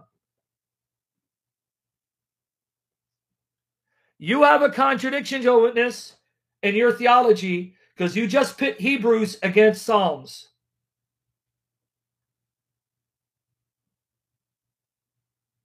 Did you catch it? Now, where does it say Jesus is just as mighty as God? Let's go to Hebrews 1 3 again. Hebrews 1 3 again. Radioactive, no, that's not the case. You're now just made a comment again, you pontificated, and you're wrong, and I don't have time to correct you. That's not why he appeared as an angel. Let's just leave it at that now. That's why better off just listen to learn. Okay, now, how do I know Jesus is just as mighty as God the Father? For two two reasons. Let's read Hebrews 1 3 again. He is the, the reflection of God's glory, the exact representation of his very being. Now, again, part of God's being includes that he's almighty. If Jesus is the exact copy of God's being, that means whatever is part and parcel of God's being, Jesus possesses that quality. Well, part of God's being includes God being almighty. If Jesus is the exact copy of the being, that means he too must be almighty. So he's just as mighty as God. You with me there? You with me there? If he's not just as mighty as God, he can't be the exact copy of God's being because part of God's being includes he's almighty, omnipotent. But he is the exact copy of his being.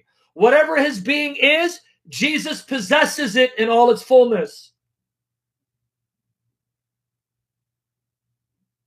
You catch it? The second line of evidence that shows me Jesus is just as mighty as God, Hebrews 1 3 again. Hebrews 1 3. Yep, first and last got it. Even in their Bible, even in their Bible, watch Hebrews 1 3. Watch what their Bible says. And he, the Son, sustains all things by the word of his power. What kind of power must the Son possess to sustain all creation, all the heavens and the earth, everything in them, to sustain them, preserve them, give them life, and then guide them to God's intended goal for creation? And how can a mere creature sustain all creation when a mere creature is finite in power, and how can Jesus be a creature, sustain all creation? Is he also sustaining himself? Because if he's a creature and he's sustaining all things, that means he's sustaining himself.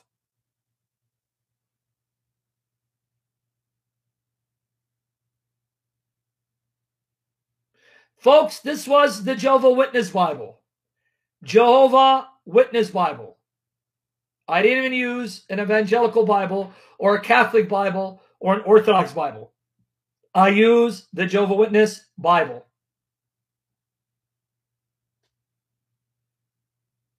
Is it clear that even from this perverted Bible, the sovereign, true, triune God, the risen Lord of glory, Jesus, has provided enough evidence, enough proofs in their Bible that God is triune and that Jesus is God in the flesh? No, he's not talking to me. Jojo, are you saying my argument is circular? No, he's not talking to me. He's talking to Joe Witness.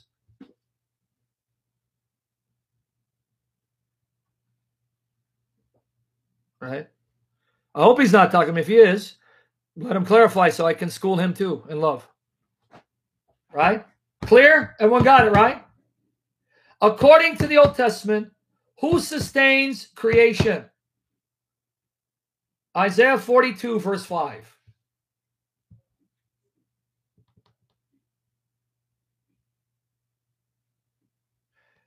That's a circular argument. Jojo, you better prove it's circular because you're saying to say a creature sustains all creation. Are you saying they are being circular? Because I, I don't know what you're saying, Jojo. You're confusing me. A creature sustains creation means he's sustaining himself. See, I'm getting confused here because you're saying that's circular. No, you're saying the Jehovah Witness position becomes circular. That's what you're saying? Because I'm getting confused. So you confused all of us. Anyway, Isaiah 42, verse 5, Jojo. Jojo Dancer. Okay. Read this. Who sustains creation according to the Hebrew Bible? Isaiah 42, verse 5. Who sustains creation according to the Hebrew Bible? Notice, this is what the true God, Jehovah says, the creator of the heavens and the grand one who stretched them out, the one who spread out the earth and its produce, the one who gives breath to the people on it and spirit to those who walk in it. You'll not find anyone other than Jehovah in the Hebrew Bible that sustains creation. Jehovah alone sustains creation according to the Hebrew Bible. Hebrews 9, verse 6. I'm sorry, Nehemiah. Nehemiah 9, verse 6.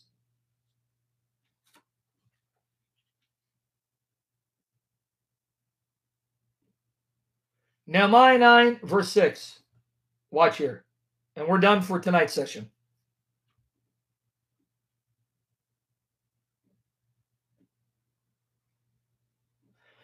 You alone are Jehovah.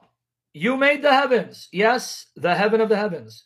And all their army, the earth and all that is on it, the seas and all that is in them.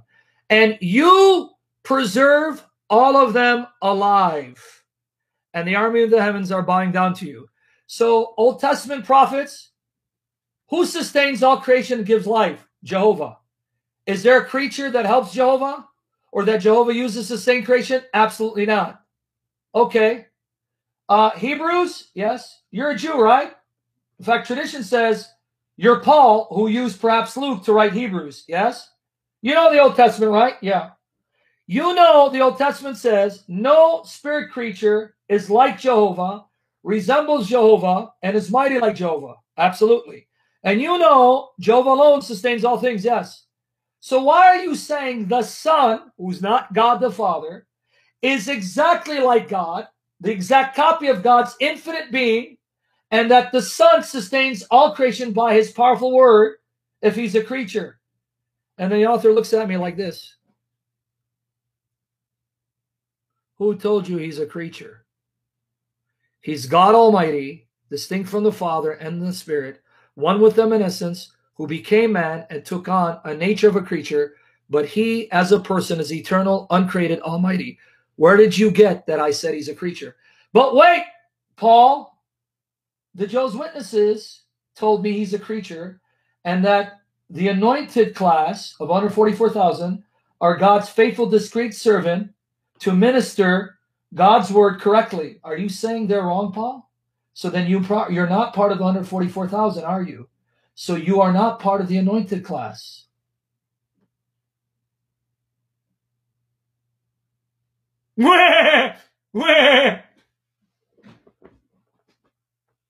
Okay. You remember what Psalm 89 said? 8. No spirit, son of God is mighty like Jehovah, right? Psalm 89, 8. No spirit, son of God is mighty like Jehovah, right? Right? Meaning created spirit, son of God. A son of God who is a created spirit being, right? No one, right? Who is mighty like you, O Jah? Nobody. Let's end it with John 5.19. Let's end it with John 5.19. And I just have a few things to mention, and we'll, Lord willing, do a session tomorrow. John 5.19. Let's end it here. This is, in my estimation, the most accurate translation of John 5.19. It's so accurate, it's mind boggling. Those Jehovah's Witnesses translated it correctly. What do I mean? Here's the Jehovah's Witness Bible. It is super accurate and amazingly accurate. And here's where it destroys their theology. Therefore, in response, Jesus said to them, Most truly I say to you, the Son cannot do a single thing of his own initiative, but only what he sees the Father doing. For whatever things that one does, these things the Son does also in like manner. Wow, how amazingly accurate this translation is. Two things. Jesus says he absolutely doesn't do a single thing on his own initiative. He can only do what the Father does. Whatever the Father does, he does in like manner. Folks, help me understand. How can a creature say he can only do what God does, and whatever God does, he does it in the same way? How can a creature say that? What creature says, I only do what God does? Because here the Father is God. And whatever the Father does, I do it in the same way he does it. No creature can say that because that would be a blasphemous lie. Many creatures do a lot of things God would never do. And no creature can do what God does in the way that God does them. But Jesus says, I, the Son, that's all I can do. I can only do what he tells me to do, and I can only do what he does, and I do everything the same way he does them. Who do you think you are, Jesus of Nazareth? And you know what's funny, folks? Joe's Witnesses will tell you Jesus, as a man, had free will, and he could have exercised his free will to sin against God. John 5 19 says that's a lie because Jesus says, I cannot do a single thing on my own initiative. So even their translation destroys their theology because Jesus says, No way. I cannot do anything contrary to the Father. I can only do what he tells me to do and what he does, destroying their false doctrine that Jesus, as a man, had free will to sin. And when I brought it up to a Jehovah Witness, one of the elders, and I asked the question, he goes, Oh, no, no, he has free will. I said, But wait, it says he cannot do a single thing on his own initiative, meaning he can only do what God does. Where's the free will? He just looked at me, smiled. No, it doesn't mean that. It means he chooses not to disobey God. That's what it means. So they don't even accept the plain language of their own translation when it goes against what the society teaches. So let's end it in a Trinitarian manner. John 5 19, John 16 13, back to back. John 5 19 and John 16 13, back to back. Watch here. Let's send it with the Trinity. And Zena, Lord willing, I'll answer your question on slavery either tomorrow or I'll text you because we went overtime. Okay, watch here. Guys, pay attention. John 5 19 and John 16 13, back to back. Notice what Jesus says about himself, the Son, and the Holy Spirit. Watch here. We're waiting for John 16 13. Guys, read with me. Therefore, in response, Jesus said to them, Most truly I say to you, the Son cannot do, cannot do, cannot do, three times, a single thing of his own initiative, but only, only, only, wow, what a powerful translation. Thank you, Joe Witness, for translating John 5 19 in the most accurate, powerful manner. Only what he sees the Father doing. For whatever things that one does, these things the Son does also in like manner. Now, notice what he says about the Holy Spirit, folks. Let's end it with a glorious testimony to the perfect, inseparable bond and union of the Trinity. Notice what Jesus says about the Spirit. Notice the blasphemy again.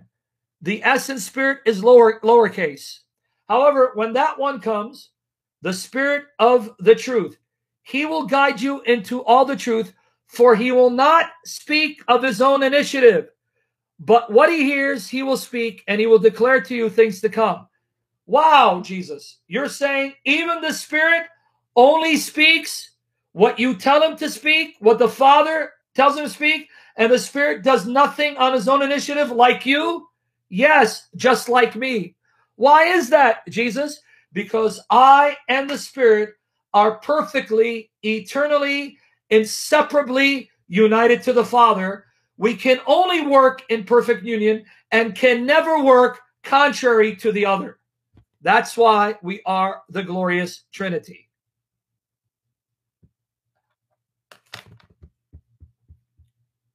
Okay? Okay, now, guys, February 18, Fathom Events. Fathom Events will be screening in select theaters, and I found the theater in my neighborhood, February 18. The same gentleman that produced one of the most monumental documentaries called Patterns of Evidence, Evidence for the Exodus. He came up with two other parts.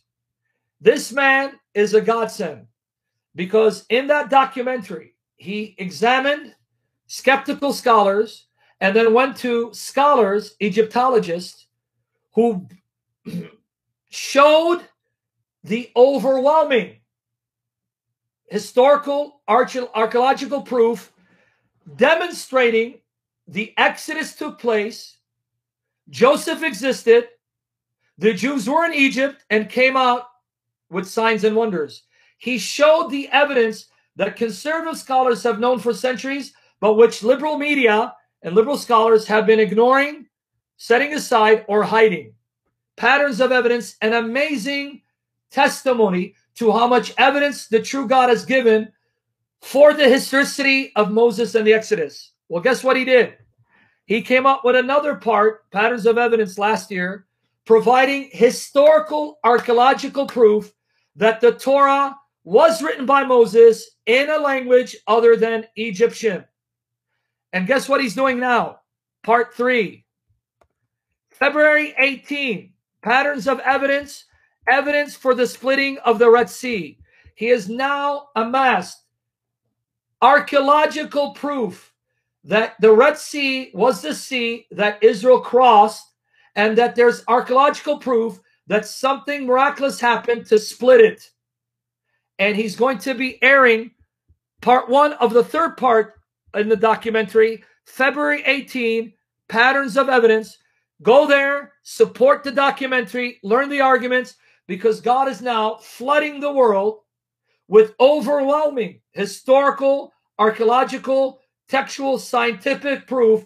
The Bible is his word. He is God. You better be ready to repent because Jesus is coming. Bejaret, you're a liar and you're a filthy dog, and your mother should be put in jail for giving birth to a dog like you, you low life scum. Sorry, guys. That was just love flowing out of me. Okay? When these dogs come barking, I will muzzle you, you filthy dogs. I'm not like David Wood, pretends to be nice on camera to make money, but when the camera's off, he's the biggest jerk known to mankind. I'm a jerk on screen and off screen to blasphemers and filthy dogs. So here's the link. Go support the documentary. At least I'm consistent. I'm consistently rude on and off the camera, not like David Wood pretending to be a gentleman. I'm a gentleman and a scholar. And then when the camera's off, you big dummy, you fool, stupid, rain man, he justifies the hatred of the black Hebrew Israelites to the white man because he's that typical white man that they speak out against. But still, he's saved by grace. Niles, I think God is doing something miraculous. I don't want to speak presumptuously, so I'm trusting it is a sign from God. Niles, that agent of the devil in that court, she hasn't been in court for over a week. She wasn't there today. She won't be there tomorrow, and she's not on vacation. Something is happening, and I'm trusting because God is answering your prayers. Keep praying and fasting. I'm trusting a miracle will take place. I'll have my daughters. Their mother will be convicted, broken, repentant before the feet of the Lord. God will save me from this corrupt judge and her corrupt decisions. Provide for me and my daughters and open doors to take me higher levels to glorify him, reach more people for the glory of Christ, to live for him, love him, and even die for him if necessary. And folks, do pray specifically by name Martin Simon Yako, and I hope my ex wife is watching it. You have no business bringing men into the lives of my daughters. Pray, Lord, remove Martin Simon Yako. He's not their father. Protect them. Bring them to me. I'm their father, your servant, to raise them in the love of Jesus. So pray against that man to be shamed and convicted and to walk away. And the Lord convict her to stop bringing men into my children's lives. You want to do what you want? Keep it outside. Leave my daughters alone. Bring them to me. In Jesus' name. Amen. Folks, I don't say this enough, but I'm going to repeat it. I thank God for you, the faithful ones who come and can tolerate me for the sake of the Lord. It is an honor to be used of Jesus to bless you and equip you by the Spirit because it rejoices my heart, makes my heart rejoice when I see you guys in love with Jesus, in awe of Jesus, and blown away how beautiful and deep and rich the Bible is because it's the Word of God. May the Lord continue to use me to bless you until I die or until Christ comes because it's my joy to serve you. And thank you for praying for me. Thank you for fasting for me and my daughters. And thank you for supporting me financially to do the ministry. I couldn't do it without you guys. God bless you. You know who you are. May he richly bless you for helping me, his unprofitable servant, to be used of the Spirit. Keep praying for the provision, especially these upcoming months. I'm moving to my new place this weekend. It's going to be hard because that means I'm going to have to be alone in my apartment until my brother joins me at the end of March. So pray he'll come sooner than later. My daughters will be there because it's not the same without my kids. Going home, going to sleep by myself without my angels. At least I could put them to sleep and I could kiss them and I would go to their room and look at them and say, Thank you, Jesus. You gave me these beautiful angels, a delight to my heart. But because of sin, because of adultery, because of immorality, because of Satan, that has been taken away from me for over two years. Don't mean to be a sob story because I know people who haven't seen their kids in 20 years. God have mercy on you and the Lord sustain you. Love you guys for the sake of the Lord. Christ is risen, risen indeed, right? Right? Kyrie eleison, Kyrie eleison, Kyrie eleison. Lord have mercy. Lord have mercy. Lord have mercy. Father, Son, Holy Spirit, have mercy. We love you. Triune God. Take care.